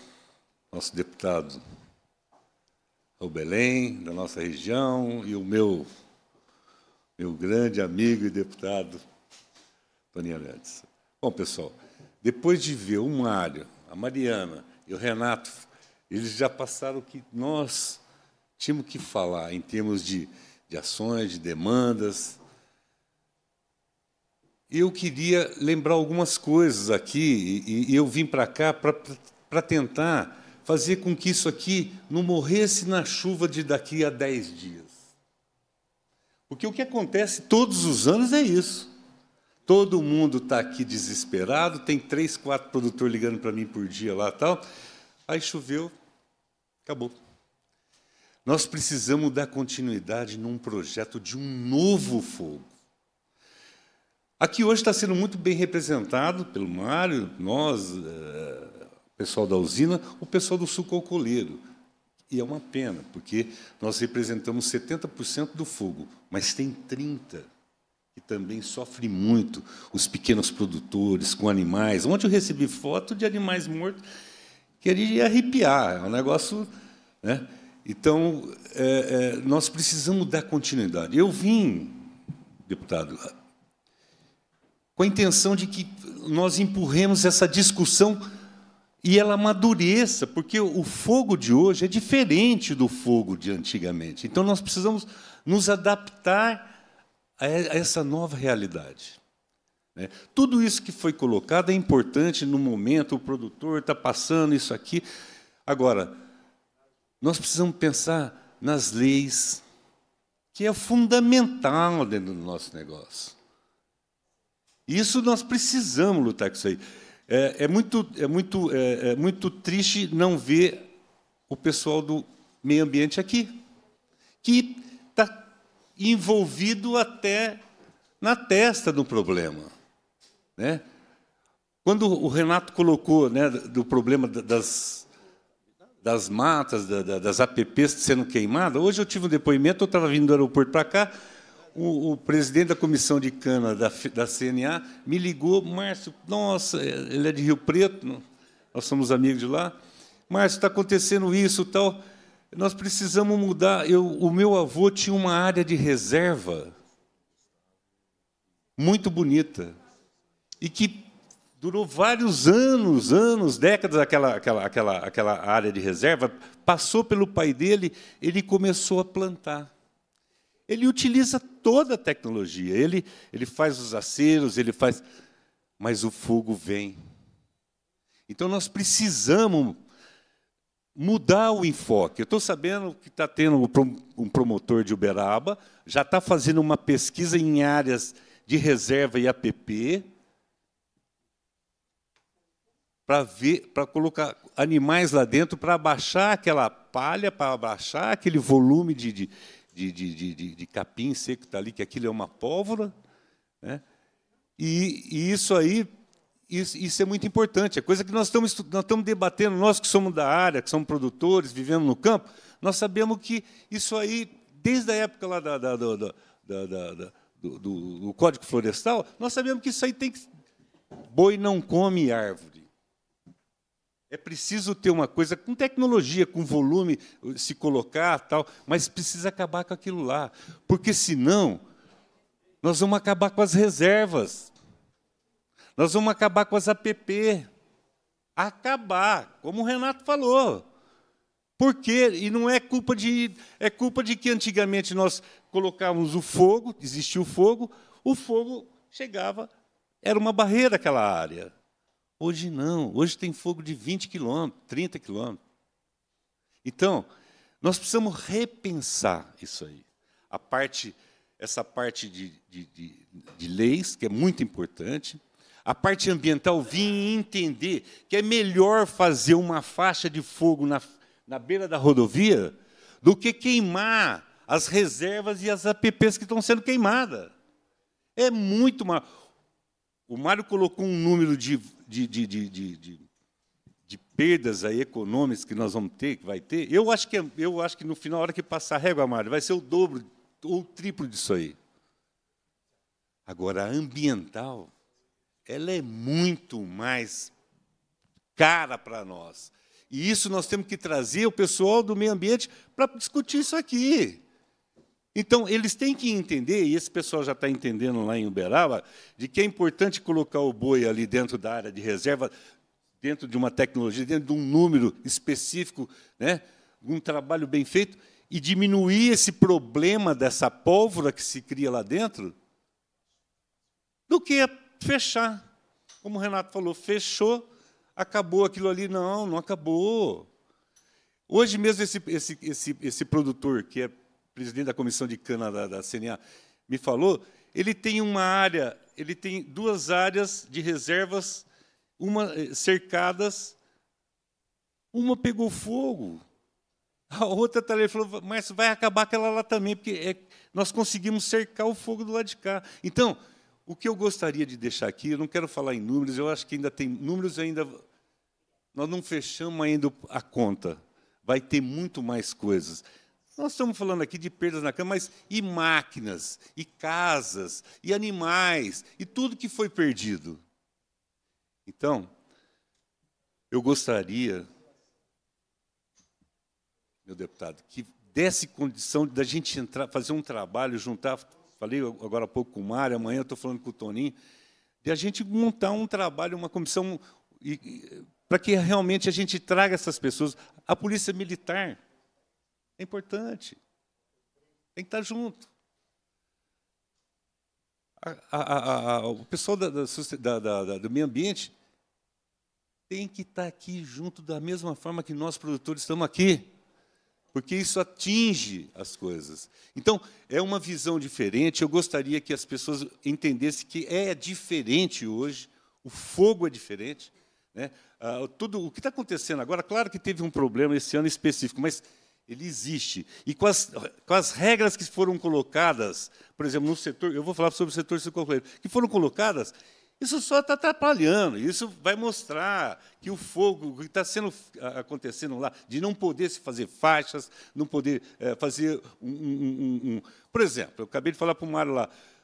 Uh, na minha fazenda tem uma, um, local onde passa a rede, a rede de alta energia em cima dos, do, de um rio. Eles limpam aquela faixa. Pô, é, se fazem aquilo é porque sabem que precisa ser feito aquilo lá. E nós precisamos fazer também para um controle para que não queime as APPs e as reservas. Então, é uma coisa que eu gostaria de deixar isso aí, que chamasse o pessoal para essa discussão, para uma comissão. Vamos fazer uma coisa mais séria, vamos baixar a bola a todo mundo e falar o que é está acontecendo, a verdade do negócio. E criar soluções. Fogo não vai acabar, mas nós podemos minorizar. E é isso que eu gostaria, tá bom? Então eu vim para cá para isso aí, não vou falar mais nada, porque o Mário, todo mundo já falou tudo aí, tá bom? Um abraço para você. Obrigado, Guapo. A sua sua contribuição é muito importante para esse processo que nós estamos atravessando aqui. Muito obrigado. É, eu gostaria só de esclarecer que a Secretaria de Meio Ambiente foi convidada e nós lamentamos muito né, pela ausência dela. Eu tenho um, um grande respeito pela secretária Marília, conversei com ela hoje ainda, quando vi que não estava confirmada a presença é, de um representante da Secretaria de Meio Ambiente, mas é, a, a, secretária alegou que a, a, responsabilidade da secretaria diz respeito apenas às áreas de preservação, mas eu falei que nós iríamos tratar sobre isso aqui. Né? Então, assim, é, infelizmente, né, nós lamentamos muito a decisão da secretaria, não da secretária né, e do próprio governo, de não mandarem representantes da Secretaria de Meio Ambiente aqui. Né? E aqui eu gostaria de justificar que nós defendemos, trabalhamos e gastamos dinheiro para preservar as áreas é, de preservações do, do, do, Estado de Minas Gerais. Né? E o que é, me chama muita atenção aqui, e eu gostaria de é, inclusive, é, ler essa matéria, porque é uma, uma coisa impactante. Vocês devem ter visto isso. Irmãos morrem carbonizados ao tentar combater incêndio em Minas Gerais. E esses irmãos eles não estavam combatendo incêndio em lavoura, em plantação e nem em pasto, não. Eles estavam combatendo incêndio na mata, na mata. E eles perderam a vida deles. Por isso que eu quero aqui ressaltar o quanto o produtor rural é o maior defensor do meio ambiente. Os bombeiros tiveram lá, não deram conta de apagar o incêndio, era à noite, eles, ao invés de dormirem, foram para dentro da mata apagar o incêndio e acabaram morrendo. Então, assim, é disso que nós estamos falando, é de gente séria, honesta e comprometida. Por isso, deputado Antônio Casarantes, que é, conversando com Vossa Excelência, nós iremos protocolar hoje mesmo esse projeto de lei de isentando o produtor rural né, nos meses de agosto e setembro né, de qualquer é, tipo de é, penalização por essas é, autuações que foram feitas nesses meses, né, é, seguindo o exemplo do Estado de São Paulo. Julho, julho a setembro. Obrigado. Eu chamo agora e agradeço imensamente a presença. Como disse aqui o Arantes, é, não o setor sucroenergético está em peso aqui, né, mas não foi só o setor sucroenergético, foi vários setores. Né, e aqui nós citamos aqui alguns exemplos. Aqui, por exemplo, Tupaciguara, é, recentemente, um fogo na 452 é, atingiu aí 20 toneladas de feno num galpão. É, em Passos, mais de 3 mil hectares afetados de pastagem e produção de cana-de-açúcar para fabricação de cachaça. Né, mais de 5 mil cabeças de gado né, tiveram que ser retiradas é, desse incêndio na, na, cidade, na região de Passos. Né, então, café queimado, abacate queimado. É, então, assim, são várias culturas atingidas, e eu chamo agora né, uma representante do, da nossa ABCZ, que é a vice-presidente da ABCZ, né, a Ana Cláudia Lamartine, que nos é, deixa muito feliz com a sua presença aqui, né, representando é, ABCZ e os criadores né, de, de gado né, do nosso Estado. Fique à vontade, Ana.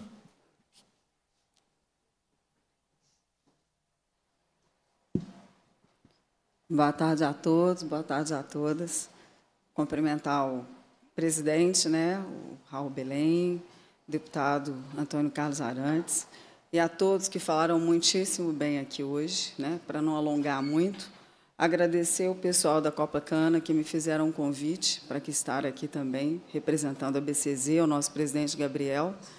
E Márcio Guapo, foi no ponto. Eu ia, eu não tinham falado ainda e também é, dentro do, do, que foi apresentado, né, dos números, eu senti, senti falta é, da pecuária. Realmente ali não, a gente não tem os números dos animais é, que por, por um acidente, né, pelos, pelo fogo, eles, eles foram cometidos, né, batidos. Então isso é, é uma observação, uma relevância que a gente precisa realmente de ter um conhecimento, né? não só em Minas Gerais, como a gente também sabe que toda região, todas as regiões que foram atingidas do Brasil, porque a BCZ ela também é nacional, né? Então isso para a gente fica aí um, um recado, né, da importância da gente ter o conhecimento sobre isso e deixar um depoimento meu é, como pecuarista e como produtora, né? A minha a nossa fazenda em Uberaba, ela já foi cana, né? O meu pai faleceu muito jovem e a minha mãe então arrendou a fazenda toda para, né? Foi para a usina Delta muitos anos e depois, ao longo desses anos, eu pude retomar essa fazenda. Então, eu vou deixar aqui também uma sugestão para vocês. É, a gente trabalha é, muito focado na importância da sustentabilidade, né? Então, eu tenho uma fazenda que é da minha família e ela está é, margeada pela BR. Né? Então, a gente já escutou todos os assuntos, para a gente não repetir. Então, a gente sabe que a gente tem um problema social, né? a gente tem um problema de crime nas BRs, né? que gente, eu, eu, tento de todas as formas, mas não consigo vencer. É, e a gente tem também o, o crescimento da população com os bairros que vão chegando dentro das fazendas. Isso é também uma observação dentro do trabalho que a gente está conversando aqui nessa, nessa comissão que irá ser formada. Acredito que nas outras cidades também que estão sendo cometidas, tem essas, essas Conceição das Alagoas, né? Eu já tive fazenda ali perto, a gente sabe como cresceu aquela região, né? E junto com isso a cana, né? a agricultura por si só também expandiu muito e a pecuária diminuiu. Então todas essas observações são importantes. Então, aqui o recado é que a gente precisaria de pensar na questão mesmo de é, termos de política pública mesmo para os combates na, no incêndio, né? desde o início com a polícia, com os bombeiros e até a gestão ambiental, que eu acho que todos nós citamos aqui. Né? Então, assim, hoje, é muito importante, eu vejo, é o problema social. A gente vê quantas crianças ali que é, a, passeiam pela fazenda. Eu, eu vejo as crianças e falo, pelo amor de Deus, cadê sua mãe? Né? Eu, a tia fica chata. Oh, não, a senhora tem uma cachoeira, não, tem cobra, gente. Né? Pelo amor de Deus, voltem para a casa de vocês, porque né, tem perigo. Aí a gente tenta fazer o nosso papel social, educacional, né? mas fica uma sugestão para um projeto social, é, pedagógico, é, ambiental. A gente precisa de, é, é também pensar nesse crescimento populacional dentro dessas regiões e que estão cercados de tudo que nós estamos falando, de toda a agropecuária e a agroindústria, né? Todo está tudo tudo no meio, tudo junto, né? Então eu acho que todas essas ações foram citadas, são muito importantes e a BCZ eu vou é, colocar também a importância, né, Márcio Guapa? Acho que é muito importante a gente saber do, do volume do gado, é, o quanto a pecuária pode contribuir para que, para que seja também uma parte é, de combate, de ação de preventiva né, e de cooperação com tudo que nós estamos falando aqui, que é tão grave, que são essas, esses fogos. Né? Realmente, assim, eu tive essa fazenda queimada vários anos, esse ano ainda não. A gente sabe o quanto custa fazer uma cerca, né, gente? Uma fazenda que é queimada. Eu falava, ai, meu Deus do céu, eu tinha que investir, eu tinha que fazer.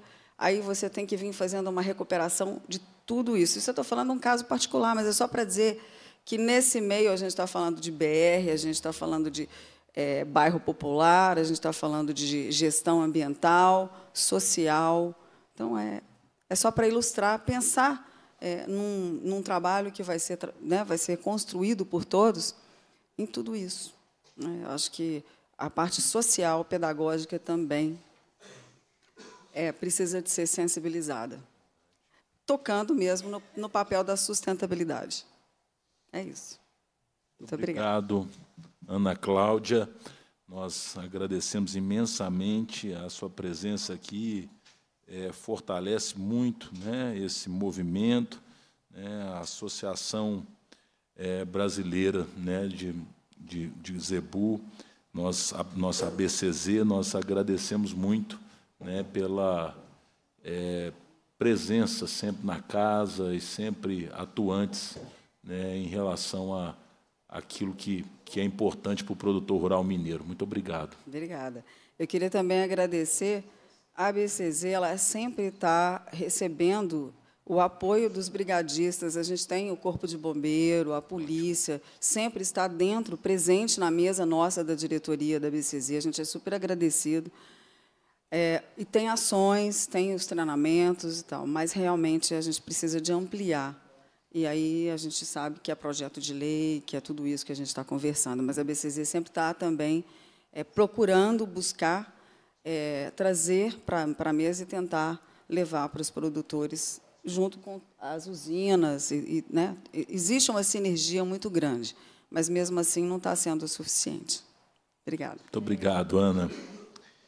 É, nós, eu gostaria de perguntar né, a, aos que compõem a mesa e, e aos, a todos os presentes se alguém queria fazer alguma colocação.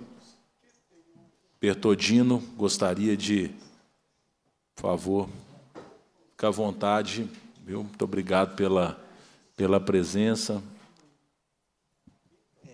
Boa tarde a todos, quase boa noite. Né? Desculpa não ter feito a inscrição, mas eu não poderia de, é, é, aproveitar essa oportunidade na, nas palavras do, né, do Guapo. Eu acho assim, nós não podemos esquecer esse tema né, daqui a 20, 30 dias, se Deus quiser a chuva vem, É, e até queria propor, deputado, eu acho que é, eu acho que vale muito a pena, realmente, o que o Guapo falou é muito importante. Nós estamos em nova, novas eras, é, principalmente nós, né, que somos profissionais da área de sustentabilidade, é, de rever vários conceitos. Eu acho que está na hora da gente fazer esse movimento de rever alguns conceitos, principalmente na área de sustentabilidade. E aí eu queria propor né, para os senhores, quem sabe, uma, uma audiência conjunta entre a Comissão de Agricultura e a Comissão de Meio Ambiente, é, para daqui a 30 dias esse tema não morrer. E a gente começar a rever esses pontos é, para o próximo ano já. sabe? Então, assim, é, essa questão da legislação ambiental é muito importante, Guapo. Eu acho que realmente a gente tem que mudar os nossos conceitos. Né, deputado Arantes, quando nós fizemos, né, eu tive o, o prazer na época de estar ajudando no Código Florestal aqui dentro da Assembleia, eu acho que está na hora de a gente começar a rever alguns conceitos ambientais. E esse momento é importante. Eu acho que, quem sabe, nasce aqui na Assembleia de novo um movimento nesse sentido e nesse caso especificamente é, do combate aos incêndios. Eu tenho falado muito que nós no passado nos eram, é, nós tínhamos a, a expertise né, do fogo controlado e agora a gente vai ter que mudar o tempo e vai ter que mudar a era no sentido de como controlar novamente esse fogo, né, de com novas técnicas e com certeza isso passa pela questão ambiental.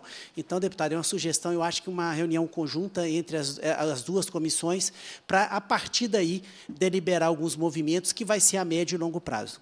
Muito obrigado. Muito obrigado, Bertodino. É, com certeza é, já está acatado aqui a essa sugestão. Né, vamos conversar com o deputado Tito Torres, que é o presidente da Comissão de Meio Ambiente.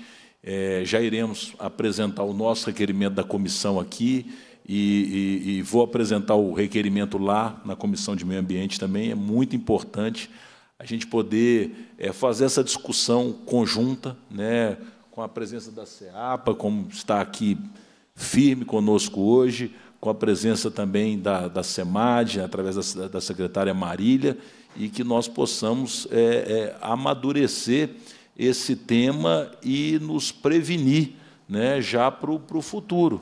Né? Então, é, é, essa preocupação sua do Guapo é extremamente pertinente. Né? Nós temos essa, é, esse, esse, esse mal cultural né, de que, a partir do momento que é, é, passa um pouco o tempo, a gente esquece e volta à normalidade, e ano que vem, julho, agosto, está batendo na porta de novo e nós podemos ter problemas ainda maiores. Né? Então, agradeço demais e vamos marcar isso o mais breve possível. Muito obrigado, Bertodino. Eu agora vou passar a fazer a leitura dos encaminhamentos dessa audiência pública. Gostaria de pedir os os nossos requerimentos aqui. Ah, sim.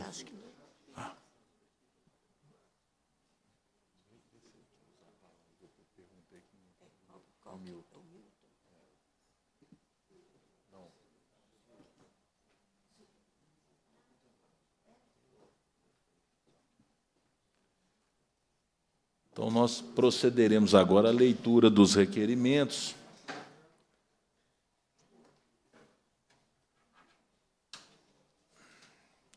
todos os requerimentos assinados por mim, presidente da comissão, pelo deputado Antônio Carlos Arantes e pelo deputado doutor Maurício, que é membro dessa comissão. O primeiro, para que seja encaminhado à Secretaria de Estado de Agricultura, Pecuária e Abastecimento, pedido de providências para que seja intermediada a renegociação com as instituições financeiras do Sistema Nacional de Crédito Rural dos prazos de pagamento, da dilação de prazos ou das carências necessárias em financiamentos do crédito rural já tomados ou mesmo da concessão de novos créditos a produtores atingidos por incêndios em 2024 que tenham afetado sua capacidade de produção ou causado prejuízos ao meio, aos meios de produção.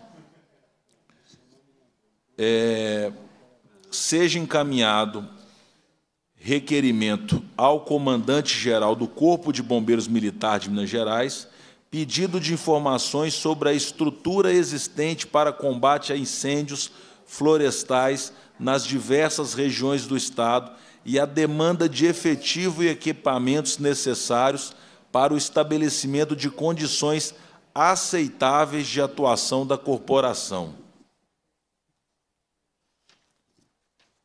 Seja encaminhado ao Corpo de Bombeiros Militar de Minas Gerais pedido de providências para que sejam mantidas em disponibilidade aeronaves de combate a incêndio nas diversas regiões de Minas Gerais e amplamente divulgados os canais e regras de acionamento desses recursos.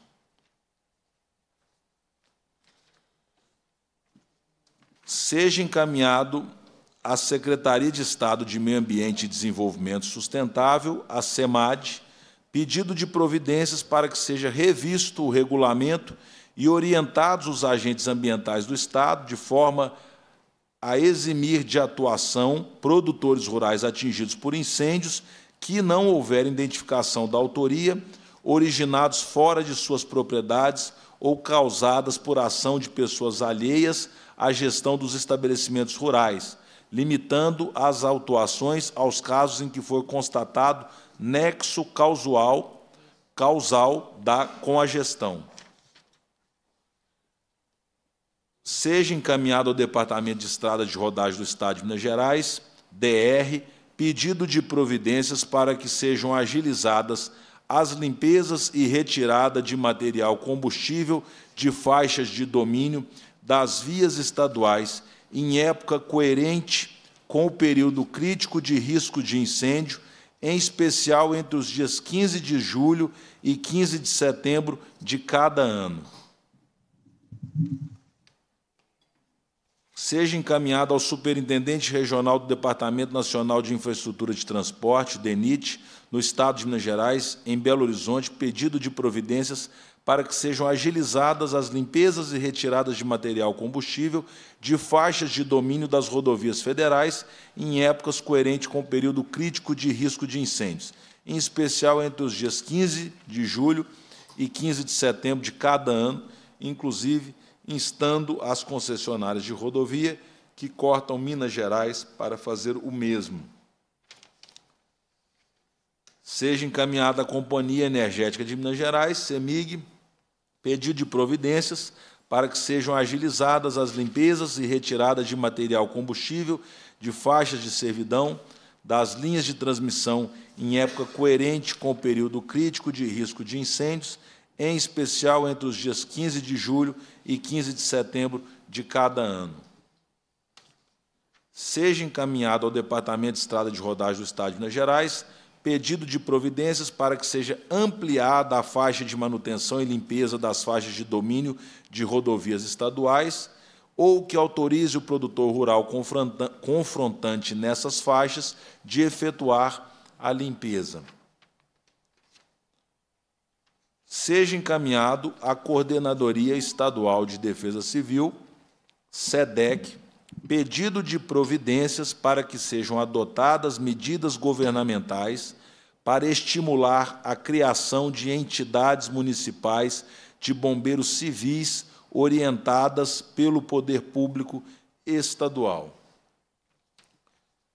E, por fim, gostaria de fazer a leitura do projeto de lei que será protocolado por mim e pelo deputado Antônio Carlos Arantes.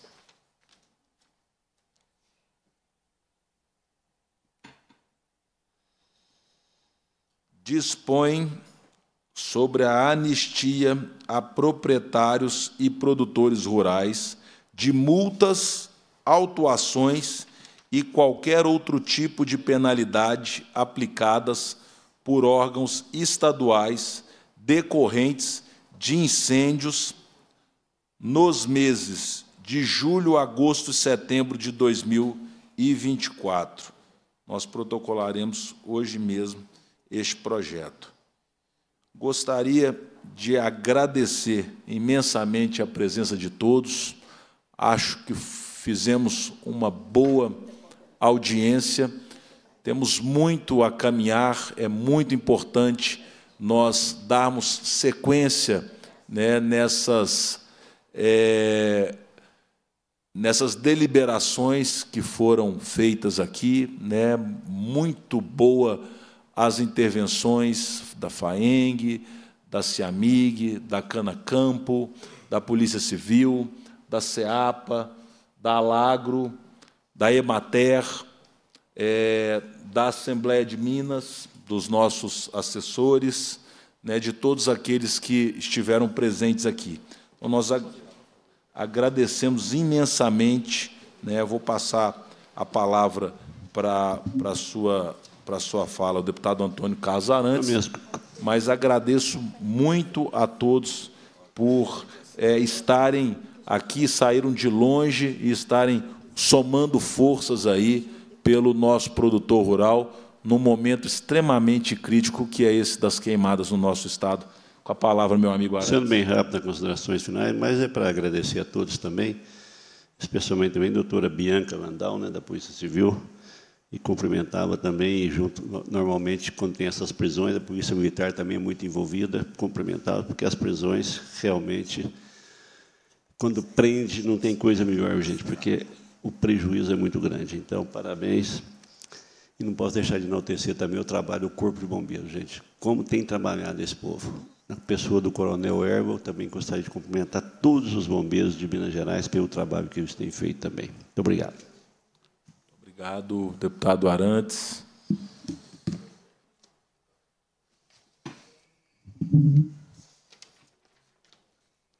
A presidência agradece aos convidados